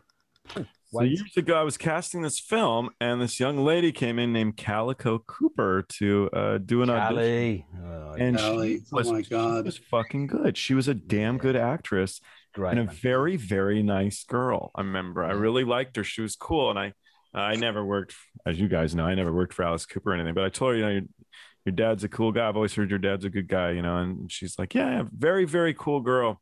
So I don't know when she she must have been a little kid when you guys first started doing the. Uh, She was one of the. She was one of the gutter Yeah. cats. She used to come out on stage and fight with. She was one of the gang in the gutter cats scene. She Yeah. was the head. Yeah. She, we were all gutter. If you work for Alice and you do back line, you're going to be in the show. That's the way. That's the deal. Which is Yeah. like, yeah, okay, yeah. So you can throw these coats on We got the cats written on the back, and your gloves and your glasses, and and you know it's great going out on stage with a beer can. And Coop don't drink, and you drink most of it, and you you ru- in his face, yeah, and you're throwing it at him, and you're putting cigarettes out on his coat, and there's Callie there beating him up, and you got a gig the next morning. You're still in the job, you know, beating the boss up. He always wins, but. Callie was she was great, man. She, and she was she was oh, she was quite young, I suppose then. But On, on trash, she was a little thing. yeah, yeah, yeah. Trash was like 1990. She was well young, but Yeah. she was she was cool then, you know. And Dash, Oh yeah. yeah, they were great, man. And bring his mum out as well. She was the coolest, you know. I had some I had some Yeah. questionable shirts and uh, and uh, with with things written on them.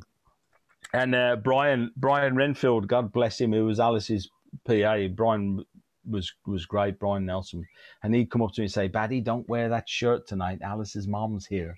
You'll have some shirt with." Fuck off written on it or something, and I- I'd wear it out on stage to point at Coop, you know, blow me. Don't wear that tonight. Alice's mom's here. Okay. I. I never did. but yeah, they're a great family. Brilliant.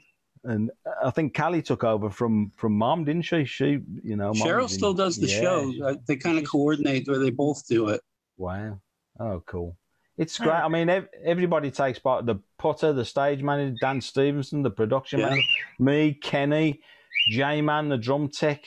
Hey, you're all gonna, you know, you take part in this show, and uh, what's, you know, what's wrong with going out and hanging the boss every night or cutting his head off? Or it's great, man. Where can you do that and have a get, have a job in the morning? It's And if an instrument goes down, that musician has to go deal with it themselves. The show comes first. Yeah, and that was the thing I asked you. Probably did too, Ken. What happens if the guitarist breaks a string? They're like show first. Show And the- first, they and- can go do it. And his bands, I mean, his bands were really actually they they cool. They got it, didn't they, Ken? They were like, and, and luckily enough, I think I had what, Pete Friesen break a string once. You know what he did? He went straight over to his spare and put it on and carried on. Well, I remember one time Reb Beach and I were were going at it because we didn't like each other, so we were really no, you weren't the only one. and his um uh wood screws pulled out of his guitar and it went flying. All he had was the strap, yeah, and he did one of these, looking at me like I'm gonna go get it. And like, fuck no. forget about it. So he's off and he's trying to sort it out. Yeah. Kane Kane Roberts was the first one I did on uh, Raise Your Fist and Yell. And he was like Kane's the big muscle man, and that that was the Yeah. main guy to look after. And then the rest of the guys, he's swinging his guitar around one night, and his strap flew off, and he just had the one radio pack, and it's gone now. It's in the crowd. I'm like, I went in the dressing room a little bit annoyed, and I had a word with him in front of the everybody, and had the guitar with me. And I said, if you do that again, this is going where you can't find it and it's right there between your legs behind you. And I walked out the dressing room and I was like thinking, he could snap me in two, this guy. He could just come out and go, when he stood there going, sorry, Batty.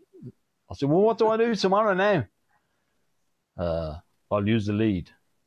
Well, you'll have to. And I didn't tell him I had another pack stashed away, but you know. But no, they were great. He was great. Kane was fine, but Which band you toured for had the best windups? Wow. Well, you know what? Coop's a bit of a wind up. He can wind, thing. and and Tony Iommi. Tony Iommi's the kind of guy who'd say, "Joel, you want a cup of tea, mate? I'll make some tea." You'll go, "Yeah, I'll have a. co- Can I have a coffee? Yeah, I'll have a coffee." And he'll make you some coffee, and he'll go, "Watch this, bat." He'll get the sugar bowl, and he'll pour all the sugar bowl into you. There you go. And he'll walk back in and go, "Hey, oh, Joel, there you go. Put it down. It's over here, mate." And two minutes later, he'll come over while everyone's chatting away and getting on with it, and you'll drink it and go, spit it everywhere. It's like all salt. That was another one. Tony's a real play up. Tony Iommi. Did- Oh, yeah. But never play Alice at cards. Oh, Alice is the, the man with cards. Yeah, never. I remember on, on Maui when he cleaned out Ralph Ferrari, and Ralph just kept going back for more. Yeah, never playing Poker. with cards or golf. Yeah, Five car. Yeah, Oh yeah, the golf thing. I he yeah, golfs like uh, every day or something. I assume. I Yeah, don't yeah. know. Yeah, I, I mean, I had a. Uh, I don't know why this happened. On one of the tours, there was uh, me and Alice, and you remember John Camp, Ken, the Yeah, security. guy from England. Yeah, John Camp was the security guy, lovely guy from London. He used to be Frank Bruno's sparring partner, so he was Yeah, he's a quite fit guy, you know, and he was great. But for some reason, we had to, we had to drive up to Canada in this limousine, and John Camp was driving, and there's me and me and Alice in the back. it's like an hour and a half drive or something, and there I am with the Coop in a Nice. limousine going to like yeah, John dear boy, pull over for some coffee and tea, would you? You know, all this is like hilarious. And I, I said to Coop, how did you? You, know, see, always I've always wondered how if you're that that addicted to alcohol like that, how'd you get away from it? And he said, and I can't remember who he said, it was another megastar, introduced him to golf. And he Yeah. said the thing the thing about golf is bad. He said you you've got to be straight as a die to get that ball in that hole. You, you, it just takes so much concentration, and you can't be on anything. And I said, golf stopped you. He went, well, yeah. He said it takes eight, eight hours to go around a golf course. It kept me out the bars, and you know yeah. and I loved it. And you know, he's a great golfer, and it was as simple as that. Simple as that. And you think, well, just and you, we, we never saw him in a bar. I never saw him on tour in a bar when we'd all be out. yeah. No, I mean, all of Alice's crew, we all you'd all hang together and have a great, great day off or whatever. Never saw him in a bar once, you know, any of those places. He'd be off playing golf. and and his other thing was shopping. He's addicted to Yeah. shopping. Yeah, Because I remember one time Toby came up to me and handed me a blue sweatshirt. And I said, What's this for? He goes, Alice couldn't find anything for himself, so he bought you a sweatshirt. okay, All right then. Thanks, Coop. Fair enough. We, we remember when the, remember when the, the we couldn't one night uh, Joel we couldn't hang him we couldn't hang the boss and he'd he'd, he'd go up on this gallows. I mean it, I could stand under it. It was six foot over, you know, and he'd be led up there in you know grappling away with the hangman who at that time was John Camp, and he'd have this hood on and he'd have the noose around his neck, and then the music would stop, the trapdoor would open, and that's Coop hung. Well, the music stopped, and Coop's still there with his hood on and his hands behind his back, and we're like, holy shit! And there's putter running around, and we're we're all underneath this gallows. The the trap it's just stuck, and now Coop weighs about I don't know two pounds ringing wet. Is it? You know, we're pushing, and you hear we hear Coop going, "Are you going to hang me, guys?" We're trying, boss. We're trying. Uh, uh, jump, and then he comes falling down. And all you get was the hood on. We can't do. He goes, ah, that's better. get him out. And off he goes and gets changed and goes on for the next bit. School's out or something. But can't hang the boss. We couldn't hang him. The wire had snapped and the, the, pulled the lever, and that was it. Yeah, couldn't hang him. Have any like good uh, last show stories where the bands were screwing with each other or anything? I, I Oh, we, like we'd screw with the bands, we would, wouldn't we, Ken? We'd screw. Oh. yeah, but with Coop, it was all about the show. We don't care if it's the last one. The Yeah, show see, is the I, uh, show. Working for Charlie Hernandez, we couldn't. There was none of that kind of crap either, and he never. No, Coop was very the show. I mean, I Maiden were like that. We did all sorts with Maiden, uh, like lots of dry ice would appear and people in canoes paddling across the stage and stuff like this. And the Maiden would be into. They'd just trap you on stage and they'd take take the piss out of you then, and they wouldn't let you off. You know, uh, but Yeah. Coop was all. It was all the show, which is was right because it's a great show. Whatever show he does, it's a. It's like going to the theatre. It's like a rock theatre right there in front of you. Yeah, absolutely. And and really, if something does go wrong during the show, you're probably not going to know. It'll just fit in. It'll, Yeah. it'll just be part of the show. You look at somebody running on, going, "That's a roadie." You might just w- run on with a limp and a hunchback, put something right, and get off again. You it's know. all part of the gig. I was on Coop for weeks that first time, and he came up to me once. He went, "Hey, you've been to every show?" I went, "Yeah, yeah." I said, "You know that guy who comes on with with the with the brown professor's coat that's ripped and covered in blood, and he's got that mask on, and he walks with a limp like this, the hunchback." And he went, "Yeah." I said, "That's me." He'd never seen me because every time I, I'd had this mask on, he never did know who I was for a few weeks. Oh, that's me. Oh, right, okay. So then I'd start kicking him as well. Then on stage, as I walked on, give him a kick. You know, be all right. It's okay. Kick the boss. Yeah, on uh, on STP, not not just the last show. We had uh, Cheap Trick opening, and I used to have my guitar platform upstage left, same level as the stage, so I could get to Dean quick. Well, Rick Nielsen from Cheap Trick is wandering around during their show. I'm up there compulsively tuning guitars, and he sees me, and he's got a follow spot on him. So he wanders over and there's the roadie tuning the guitar. Yeah, I'm like, fuck. so Yeah. you know, and that, that carried too. on for a good week at least. Every night, here, here comes Rick. it's your time to shine. Yeah, yeah. Exactly. Hey, did you ever? You ma- you can uh, catch this on on the YouTube. Uh, Monkeys with Guns. no, All right, on the- on the STP tour in '97, I think it was. The crew had a band called Monkeys with Guns to Okay. sound shit to, to line check. Okay. and it was that's all it was. Well one day somebody came up to me and said you guys are going on. And it was like a 17000 seat arena. I mean uh, uh, amphitheater. I'm like what are you talking about? Monkeys with guns are going on. And i went, went to dean and he goes dude you're doing it Mm. so they used to have this curtain that would open up and those mirror balls do do do do do do and there we were and there we went.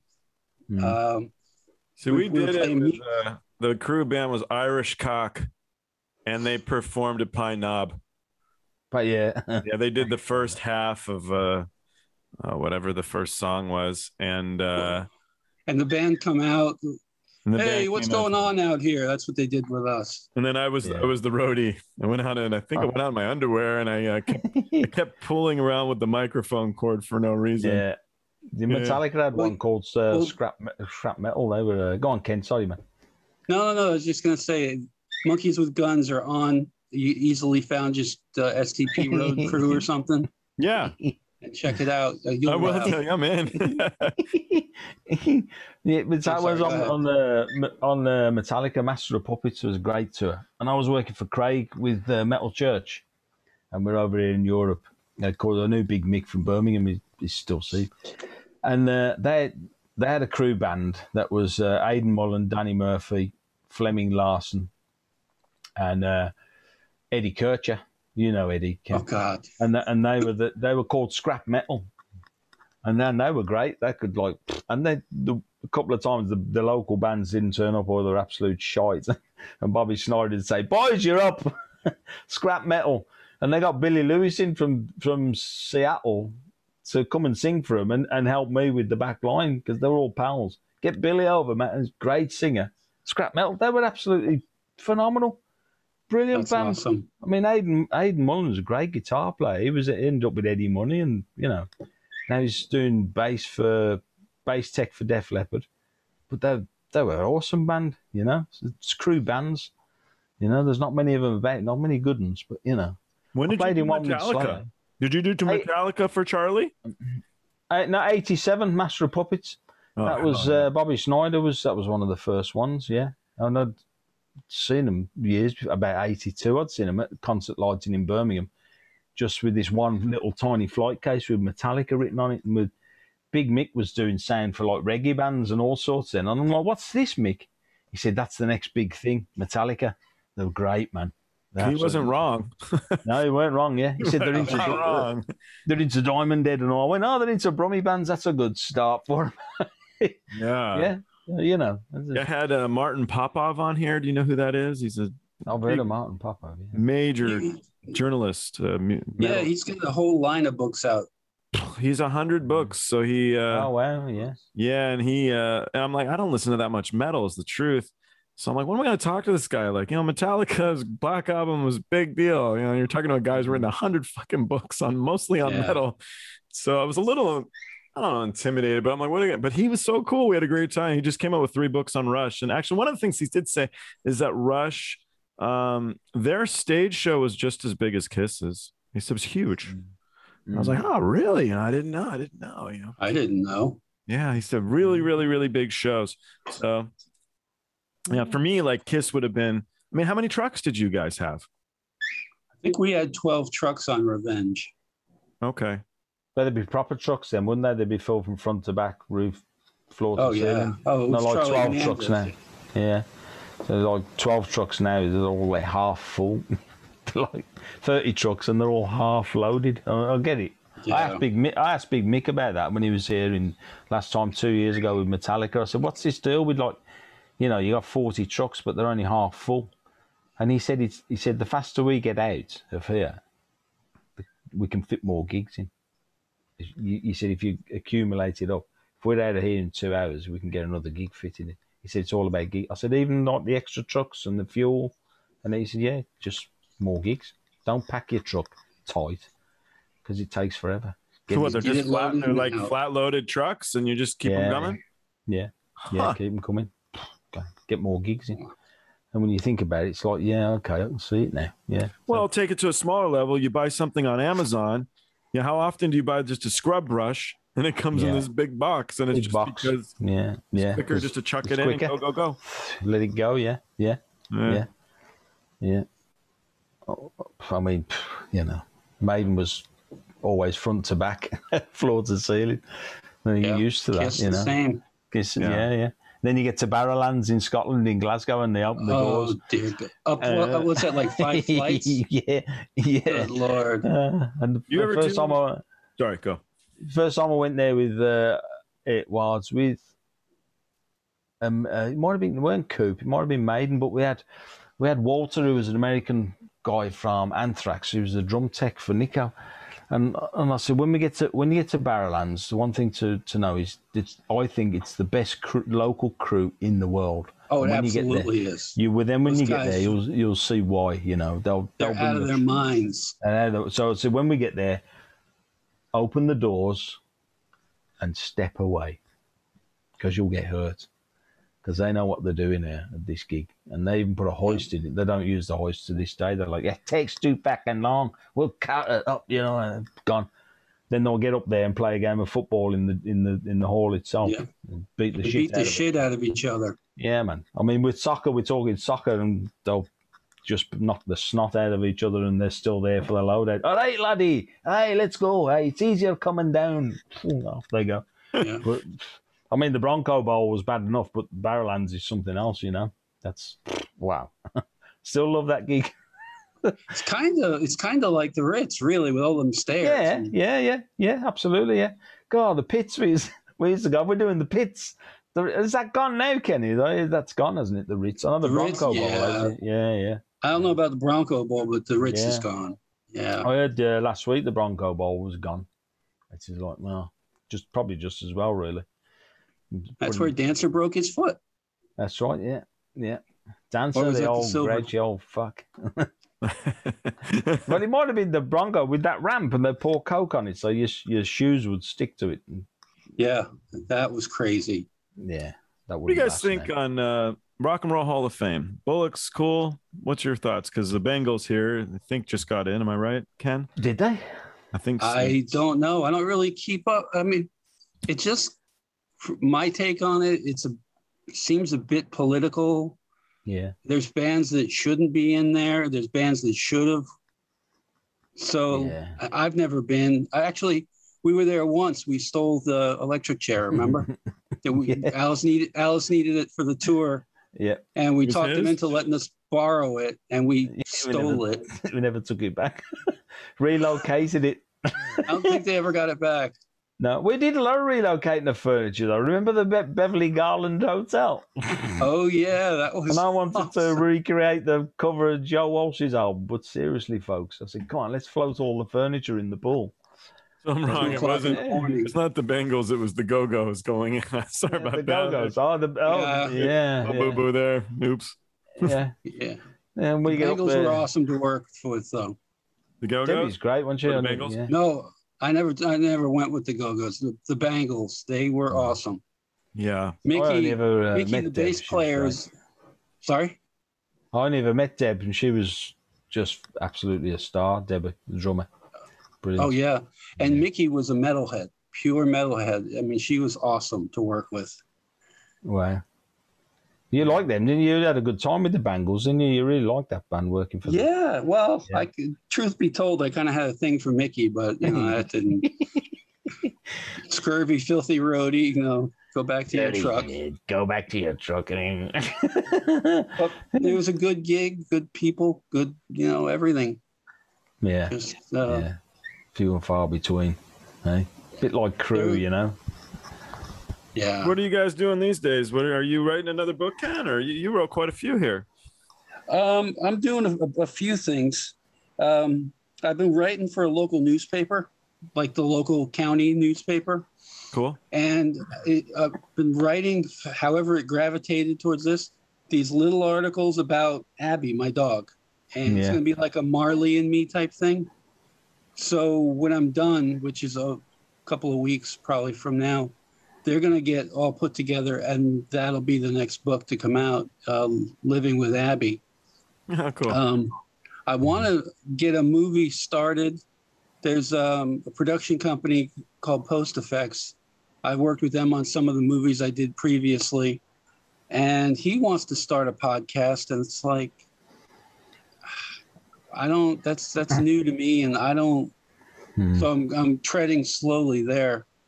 Um, I'd love to do another full-on book. You know, when I wrote "We Are the Road Crew," Yeah. it was the first thing I'd ever written. And I didn't ask anybody anything because I didn't know if I could finish it or not. Mhm. So there's questions I would have liked to ask Batty and a lot Mhm. of other. I'd, I'd love to do a road crew second book and talk to everybody, let everybody be involved, you know. "Hey, Batty, uh, I was too drunk on the, this one." Yeah. Uh, Well, in Paris, you mean? yes. See, that'd be the perfect. Yeah. But, uh, another part of it was, well, what Paris happened in. Paris? I don't know. I got to Did you not quite make it back to the hotel or? Oh yeah, he did. Yeah, yeah. couple I made a lot- times. A couple of times I made a lot of money that night. hey, we, we, we were. Uh, we, we- you want to tell it? You Were can't. you, No, you should- were you prostituting Ken in Paris? I don't know. God. Eh, oh, well, I, I, I tried. No one offered. yeah, so, he tried, but uh, they were all lampposts that he was trying with, or lamp lampstands, what they call them over there. You know, with the street lights. They weren't having any of it. We're all right. I'll tell it. Yeah, we got. We we were in in this bar in Paris, you tell it, go and th- it was on a traffic circle, and at the other side of the traffic circle was our hotel. So I decide it's time to go. I'm hammered out of my skull. and I bounce off every lamppost as I'm trying. I got hit by cars. It Oh, was jeez. just, Yeah. and I, you know, I'm I'm not not a small guy, so you know, there was somebody hit me with their car, I'd be yelling "fuck you, Frenchie." yeah. there was a lot of that. So I finally get to the hotel and realize I've forgotten my jacket back at the bar. Mm-hmm. So round two, bam, bam, fuck you, Frenchie, bam. And Bat's got my coat and a pile of loot, which he'll tell you that part of the story. Mm-hmm. And mm-hmm. so with my jacket in hand, off I go back to the hotel, hit by cars, hit by all sort of thing, and made it to the gig on time the next day. But Batty made some money that which actually paid my bar my bar tab. That's right. Yeah. You Yeah, were he- dancing on the street there. There was a little bit of Oh. motorhead dancing with the. Uh, well, no, it, it- th- this traffic circle, it, it, it, it was huge. It's got it, this thing's. It's called the Place de Concorde in, in Paris, and it's got trees in the middle of it. And built, this is huge. And on the other side of it is the hotels and there's bars, and it's a real cool place. It's streets with just. So Kenny's like going off, and we're all in the bar going. He ain't gonna. He's gonna make it. He's not gonna. do You know, the, the French don't they just drive how they want to drive if you step out in the streets it's not like in america you stop they'll just fuck they just fucking mow him down we better keep an eye on him out here and we're all taking bet who's gonna who's gonna bet is kenny gonna make it let's open a book let's see if he makes it and we're watching him and he's banging off a, no that's okay that's one of those lampposts he'd be but he's having a conversation with it i think he just i think he just threw a left hook at there he'd be all right that car's hit. Oh, that car looks quite bad. Kenny's still walking though. He's all right. He's wobbling down, and, and yeah, he's in. He's okay. He's in the hotel. Yeah, he's all right. He made it. And then the next five, ten minutes later, he walks back in. "Ah, Where's my jacket? Uh, We're all like, holy shit. Hey, Kenny, we just made a load of money to pay for your bit. Look, we, well, we, we all took bets that you wouldn't make it back to the hotel. you, you got any idea what you just did? Yeah, fuck, fuck Frenchies. You couple of cars with big dents. Why were you picking a fight on that lampstand thing over there? Yeah, fuck French. Want another beer? Yeah, I'll have another beer. Yeah. We made quite a few. We made a lot of money that night, Ken, on you. You made Yeah. it there and made it back. That was the amazing part. We all thought he's safe now. He's in. Let's carry on drinking. And then he walks ten minutes later. Ah, where's my coat? Ah, one of the when you went back to get your coat, you drank a bit more at the pub, right? yeah. Oh, yeah, of yeah. course, yeah. Oh, yeah. Well, yeah. It'd be rude not to. You know. I know it's, it's France and that you have to join in there, don't you? And all the French people. But the thing is, the French people in the bar were joining in as well, looking out the window, going, "Oh no, this he's going to get killed. He's crazy. They drive different here, you know. You can't. I'll put into 10 the- on it. I have ten francs on. He doesn't make it. Oh, you know, all right, then come on then. the people behind the bar. I got it. This is just some normal bar. It was nice and quiet, and local people having a drink, and then Kenny appears, and the crew. We're all having a quiet drink, you know. And You of were, a you were their local rock star. They probably have Yeah, photos of you up on the yeah. bar wall. yeah, have you Probably. the- Well, when Kenny goes to Japan, they have his name outside the shops in Kenny Kenny Prince Beer Bar, Kenny Prince Beer Bar. George, There- there's a picture in the book. There's a picture in the book. of the bar. Uh, no, of um, the Kenny Bar beer sign. Kenny He knows all the yeah. photos. Bad, bad will find it. He knows all the Oh, photos in the man, book. All the fun photos. I was in I was in a bar once. I was in Northern California, and I, I was looking behind the bar, and I'm like, You're not old enough to get in a bar. What are you on about? Come on. I yeah, well, yeah, 44 today, 44 today. oh, happy bir- happy birthday. Yours. Happy Thank you. birthday. Thank you, guys. Thank you. Yeah, I um I was I was at this bar and I'm looking behind the bar and I'm like, is that a photo of me? And uh, I was with a couple friends and they look and they're like, Yes, totally, that's you. So I'm looking around like I don't remember being in this bar. And it was just like the whole walls filled with photos of just random people. And it was, it was a photo of me on the bar up in uh Yeah. up in like San Francisco area. And I was, I was That's always scary. yeah, it was a little weird because I'm like, I really don't remember being here. What we got? I've got the colour photo of this, and I'm sure you have as well, Kenny. That's it. Was That's it- in outside Alice George- Cooper, Prince, Kenny Bar Beer. outside Oh, that's shop in great. Tokyo. Alice Cooper toured with Prince. No, No, it's, they were those. They were Oh, it's all different in nights? Japan. it's all it's all about yeah. It's, it's Kenny Bar, Prince Bear. That's what we call him, Prince Bear. Oh, I see. I was- All right. I was in He's big in the Japan in the, in '89, and there there's this guy named George Silk who's a he's got a, a little storefront on this six lane major highway go Yeah. that goes through Tokyo, and his big thing is inviting you over to his little table and chairs, and you know give you beer and you no charge, and it's in the hopes that you'll buy something. Well. We were in Japan for like three weeks. I was gonna say like, he five found the right. He found the right guys. Found the right people. Yeah, I got one hanging the on the wall. This was this man's time to shine. Were you So with Alice anyway- Cooper? He's like, Alice Cooper will buy everything in my store. Yeah, the hell everything. You know. Okay, So- sorry. Man, No, that's all right. So I I made friends with him. We just hit it off. So I was at his place every day. One day I was fixing broken folding chairs, and the crew were like, "What the fuck?" You know, is this? He became my Japanese dad. So a year later, Alice is in Japan, and I tell the the the guys in the band, "Go see George. He's your guy. Yeah. You're gonna ha- have a great time." So you know, I go, we go to do load in, and uh, the the guys in the band stop, and I guess they hit it off with George too. So they come to the gig and they're like, "Oh, George is looking anxious to see you. Oh, you know, blah blah blah." So driving home from the gig, that was his billboard, and whoever was in town, he would put it up there to advertise. That's why he welcomed Alice Cooper. So we're all, you know, driving back to the hotel, and you can see the billboard, big as life. And Alice is in the car with Renfield and probably one or two other people, and they roll past it, and they see the sign, and they go, "Holy shit!" And Alice looks at it. This is what I was told. He said, "Well, at least I got top billing." yeah.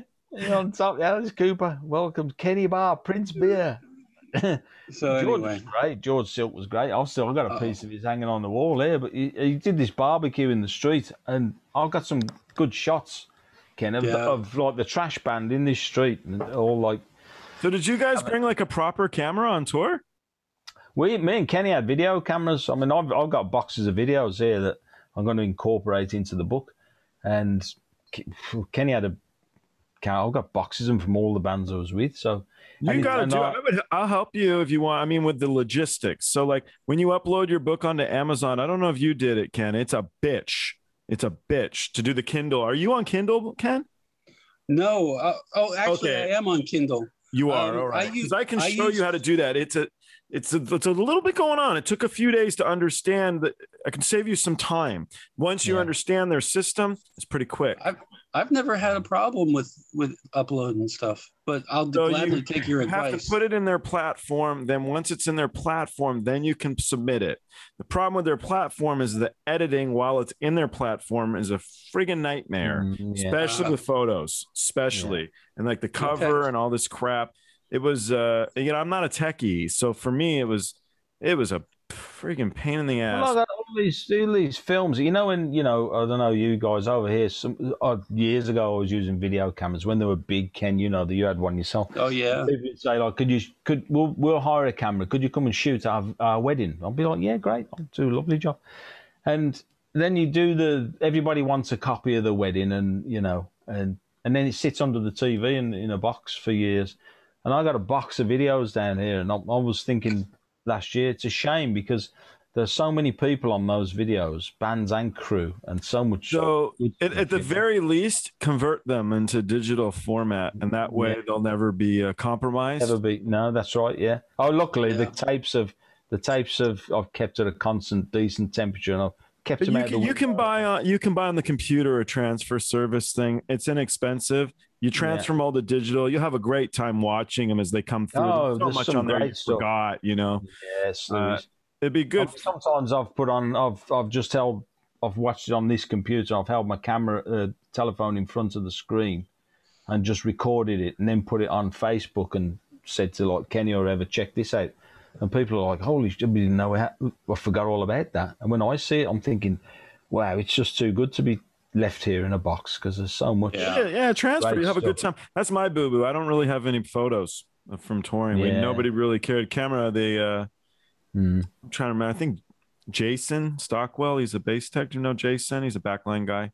Yeah, he did STP. He did STP, and so Jason, I think, had a camera always. If I, re- I'm trying to remember, we'd get Oh the yeah, phone cameras, which Yeah. are kind of, yeah, kind of. I had, uh, I've still got it and it still works fine, you know. And just last week, I thought, you know, I'm going to start using this again. The 35 mm Olympus Canon Sprint, and it was camera of the year in 1985 or six. And I took that everywhere. I took it every, all the tours on the back of my belt. Using the, the tip of the technology here. Right. Yeah, it was like, and that was the time of the, that, that time. That was like, that was the best camera you could get for doing this. And then uh, Yeah. video cameras came out, and you know, so I got a lot of photos and negatives, but I got a lot of video as well, and, and some of it's quite, uh, it's quite funny, and some of it, some of the people are no longer with us. You know, uh, it's That's the nice stuff. Is the good. you know, yeah, yeah, and it's a, it's a shame What's you look the, back uh, at it. What's the oddest band that opened up for Iron Maiden? Uh, oh, the oddest band. I think I don't think the crew band ever. Uh, we never opened up for them. But there was one band that were absolutely terrible, and I can't think of their name now. But they had a violin player as well, and they were all a bit uh, gothic. I can't think of their name now. But yeah, they didn't. They didn't. They didn't last too long. They were politely replaced, you know. And uh, the, the crew, the, we had a good band with. They've, they've got a song I made called "Lost for Words," and it's an instrumental, and they never play it. It's a great. It's a great track, and that's the crew's the crew tune. That's what that's what we do sound check to. And they they came to uh, one of the first gigs in, in Canada on uh, in '99.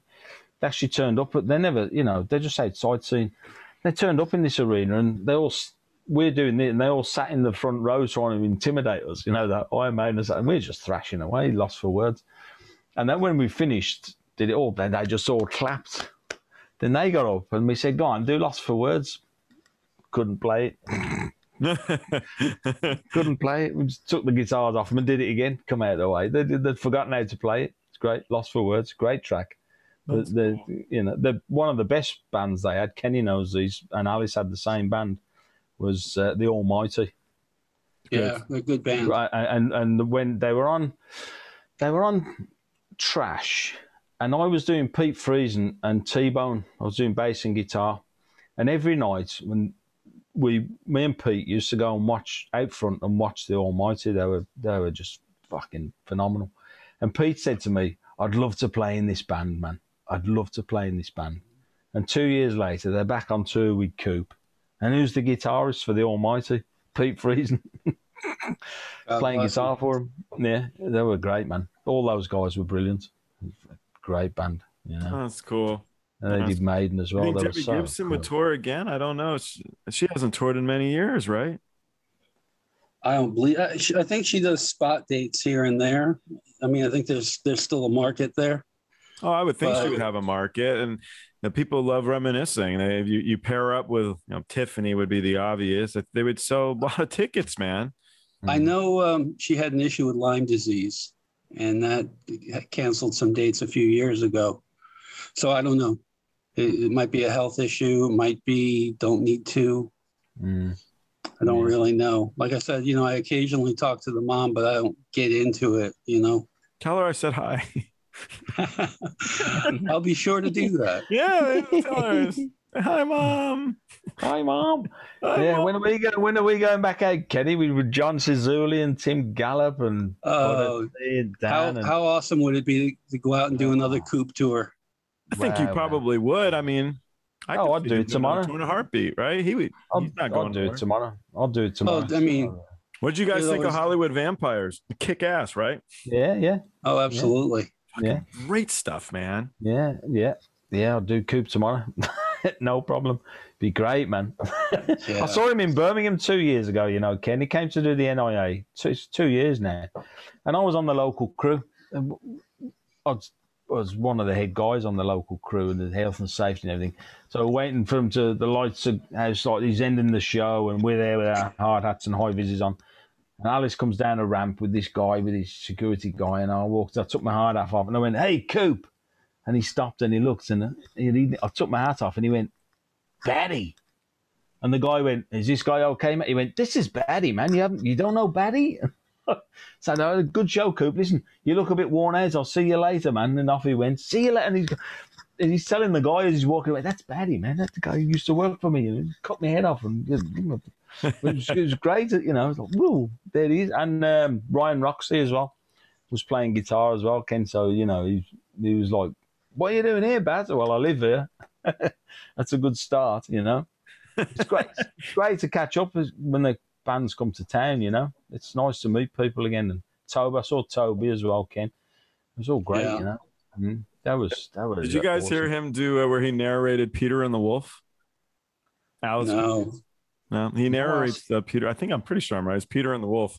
That was kind of strange, but he he did a good job actually. I liked it a Yeah. lot. I seen the thing where he did. I just put it on Facebook. I found it on YouTube where he where he does um, uh, Technicolor Dreamcoat, and he's who is it in that real bad, but he drops the mic at the end, and the girl catches it, and he just drops the way Coop does, you know, just so uh, aloof and drops it. It's all stage catch it. So so good. It's on YouTube there with the Technicolor Dreamcoat, and he's playing the uh, the devil, which is great in a gold lame suit and his mic, and just at the end, just drops it. So cool, you know, really cool. That's the way you drop neat. a mic.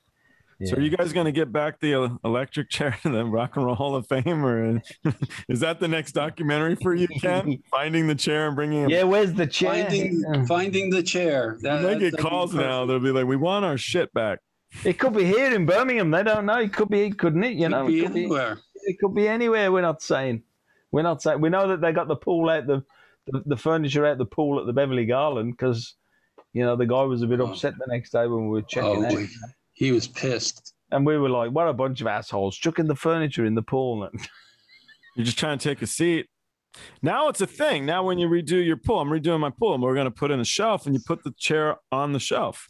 Oh no, this was a this was just the, the, Beverly Garland in LA. There, me and Kenny had been to the bar and had probably some blue whales or something, and I and had all the furniture was still around the pool, all the plastic. And I said, wouldn't it be great to create the cover of But Seriously, folks, to Joe Walsh, where he's got all the furniture in the water, and me, yeah, come on then, let's do it. So we we float all the furniture in the pool, and off Did we you go in the Nobody- pool with it to do the photo, or No, no? no, we didn't want to get wet. We were too Well, that's drunk that's a half-assed effort, Batty. Well, it was dark as well, wasn't it, Ken? It was, you know, it was, it was. It was two o'clock in the Like- morning. Yeah, it was yeah, fucking I mean, dark. You know, hey, it was dark, and and then we get up in the next the next day to check out. We're like, with a bit worse for wear, but very quiet. And there's a guy at the reception going, "Yeah, some assholes put all the furniture in the goddamn pool last night. If I could get my hands on those dates and I'm there, I'm thinking."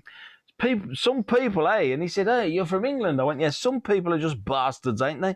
Floating. what Nerve. do we- the, what the, the nerve of the the nerve, nerve. of it all. I hope you catch them.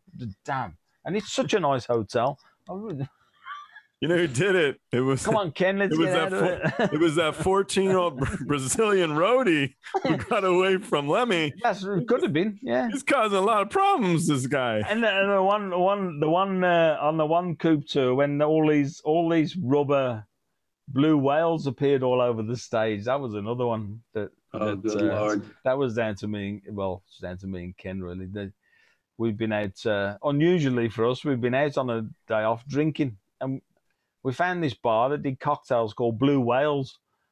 I don't know what was in who the who knows, but when you when you got one they, on on the side of your glass, they put like this twelve inch rubber blue whale. Blue whale.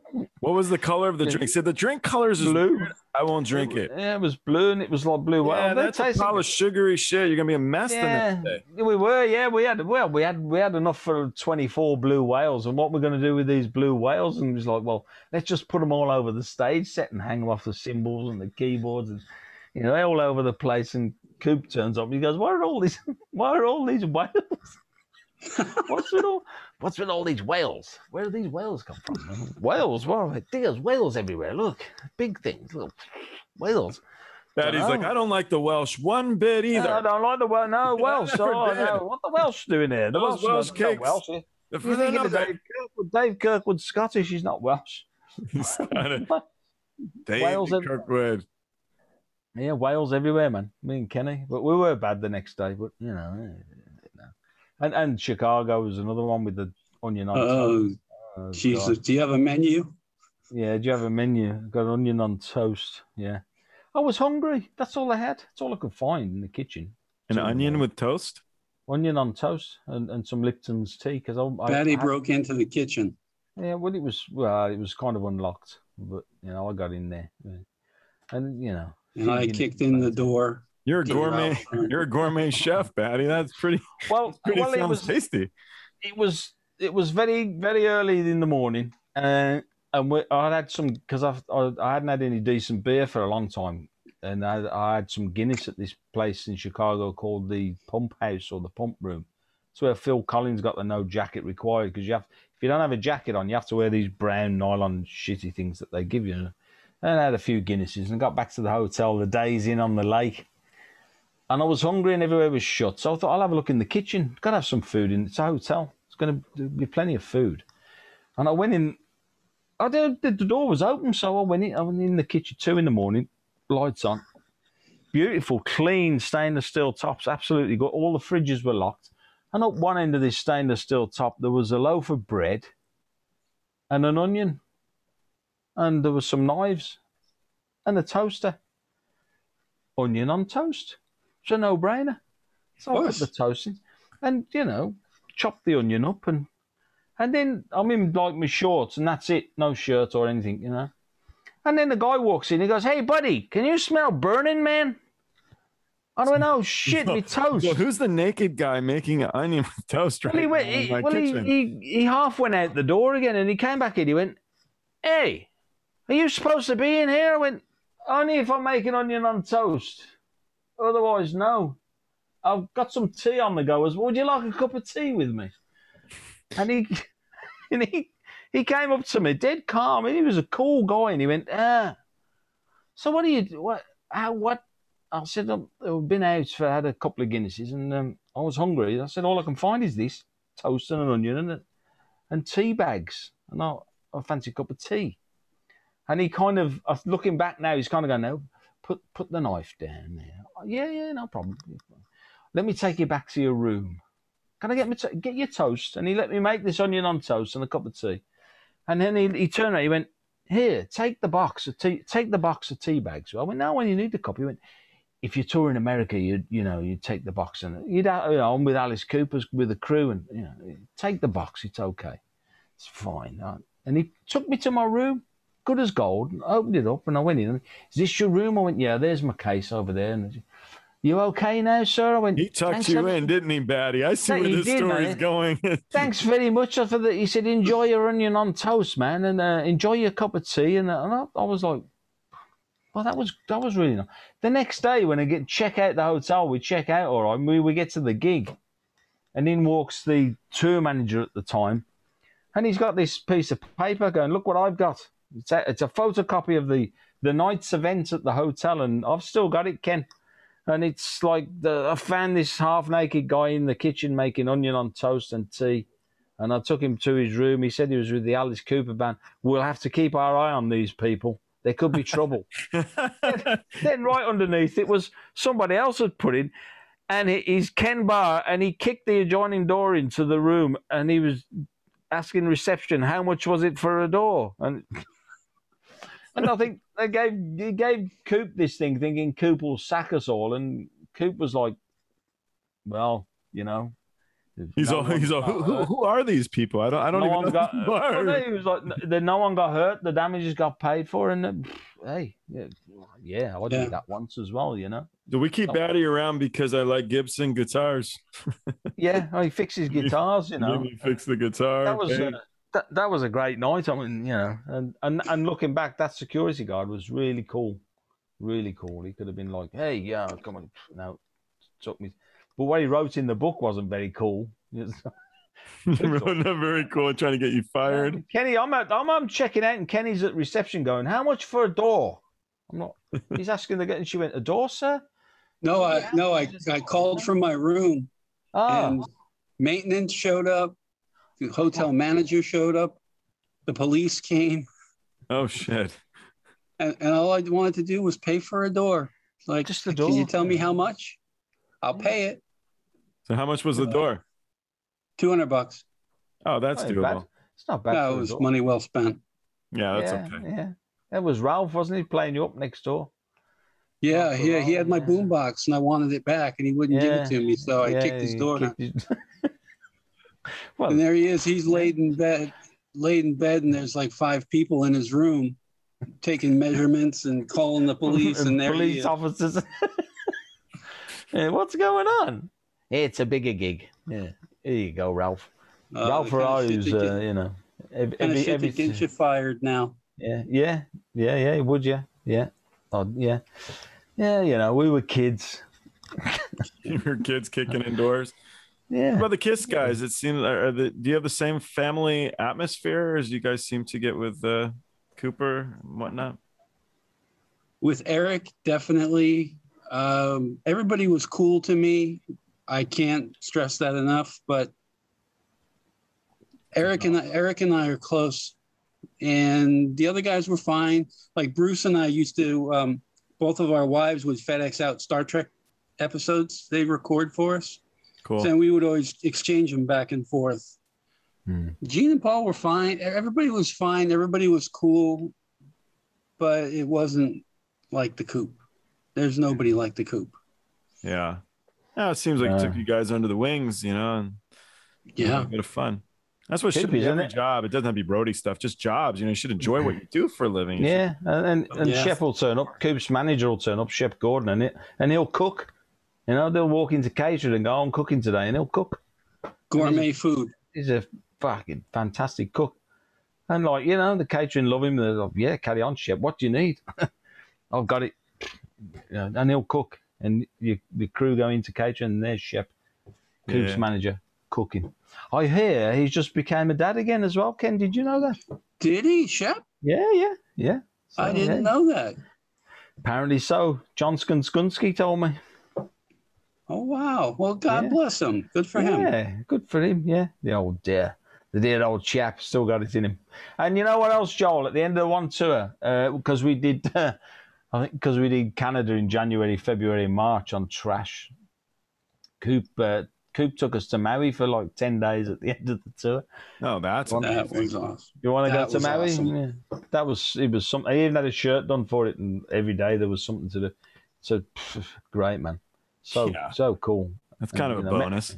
Yeah, met Shep had open plane. houses. Shep Yeah. had open house at his place. Yeah. Food, Yeah. booze, everything. Just just turn Every up. day. Every day, just turn up, and then sh- you got a guest book at his house. Yet it was really funny because I opened the guest book to sign it, and who's there? George Harrison. So I, sign underneath George Harrison. I'm thinking, oh well, there you go. It's meant You're to like, be. that's my buddy. I know what he That's drinks. pal. I know what he's. And I'm there about, I don't know, there about half an hour. And I, uh, Shep's place is gorgeous on the beach, and I go get a boogie board because we do a lot of that in Birmingham on the canals, boogie boarding. So I'm yeah, I'll boogie board, and I was having a great time. And the last wave I caught, I landed on my collarbone, broke my collarbone, and it was always pretty, re- you know, ready to throw up. Kenny says, I I know, I know. I go, like Shep goes, take him to these doctor, get an X-ray, and then you know, you get these pills, and we go. And Ken goes, I know, I got a great cure for these broken collarbones. There's a bar down the street. He's never been to Maui before. There's a bar here. It does great margaritas, and they did do great margaritas, but they were in jugs. Great That's okay. Jugs, and it was after about three or four of them. I didn't feel a thing, and every day it was like, let's go and have some painkillers down at the old uh, Margaritaville. That's why I threw my back out a couple of days ago. So that's my life Oh, right now. That's it. Well, you know what, Ken? That's on video. That that three or four hours in that that place with that first Oh, time yeah. we went. And you want to see us? We start off great, and then as it goes on, it gets really funny. All these, bad uh, he's getting at. He's going to release these videos. He's going to want Yeah, ransom yeah. from yeah. everybody. Oh, ransom for him. That's it, Joel. You got it, pal. I know. I can see where this guy's going here. Me too. yeah, I, would, I wouldn't do that. Well, you know, maybe to one or two, but yeah, Maybe. Maybe. No, not Ken Barr. I wouldn't do that. Well, guys, I, I appreciate the time today. It was fun. No, it's been great, man. It's Yeah, bad. thanks for having us. Yeah, Yeah, man. absolutely, yeah.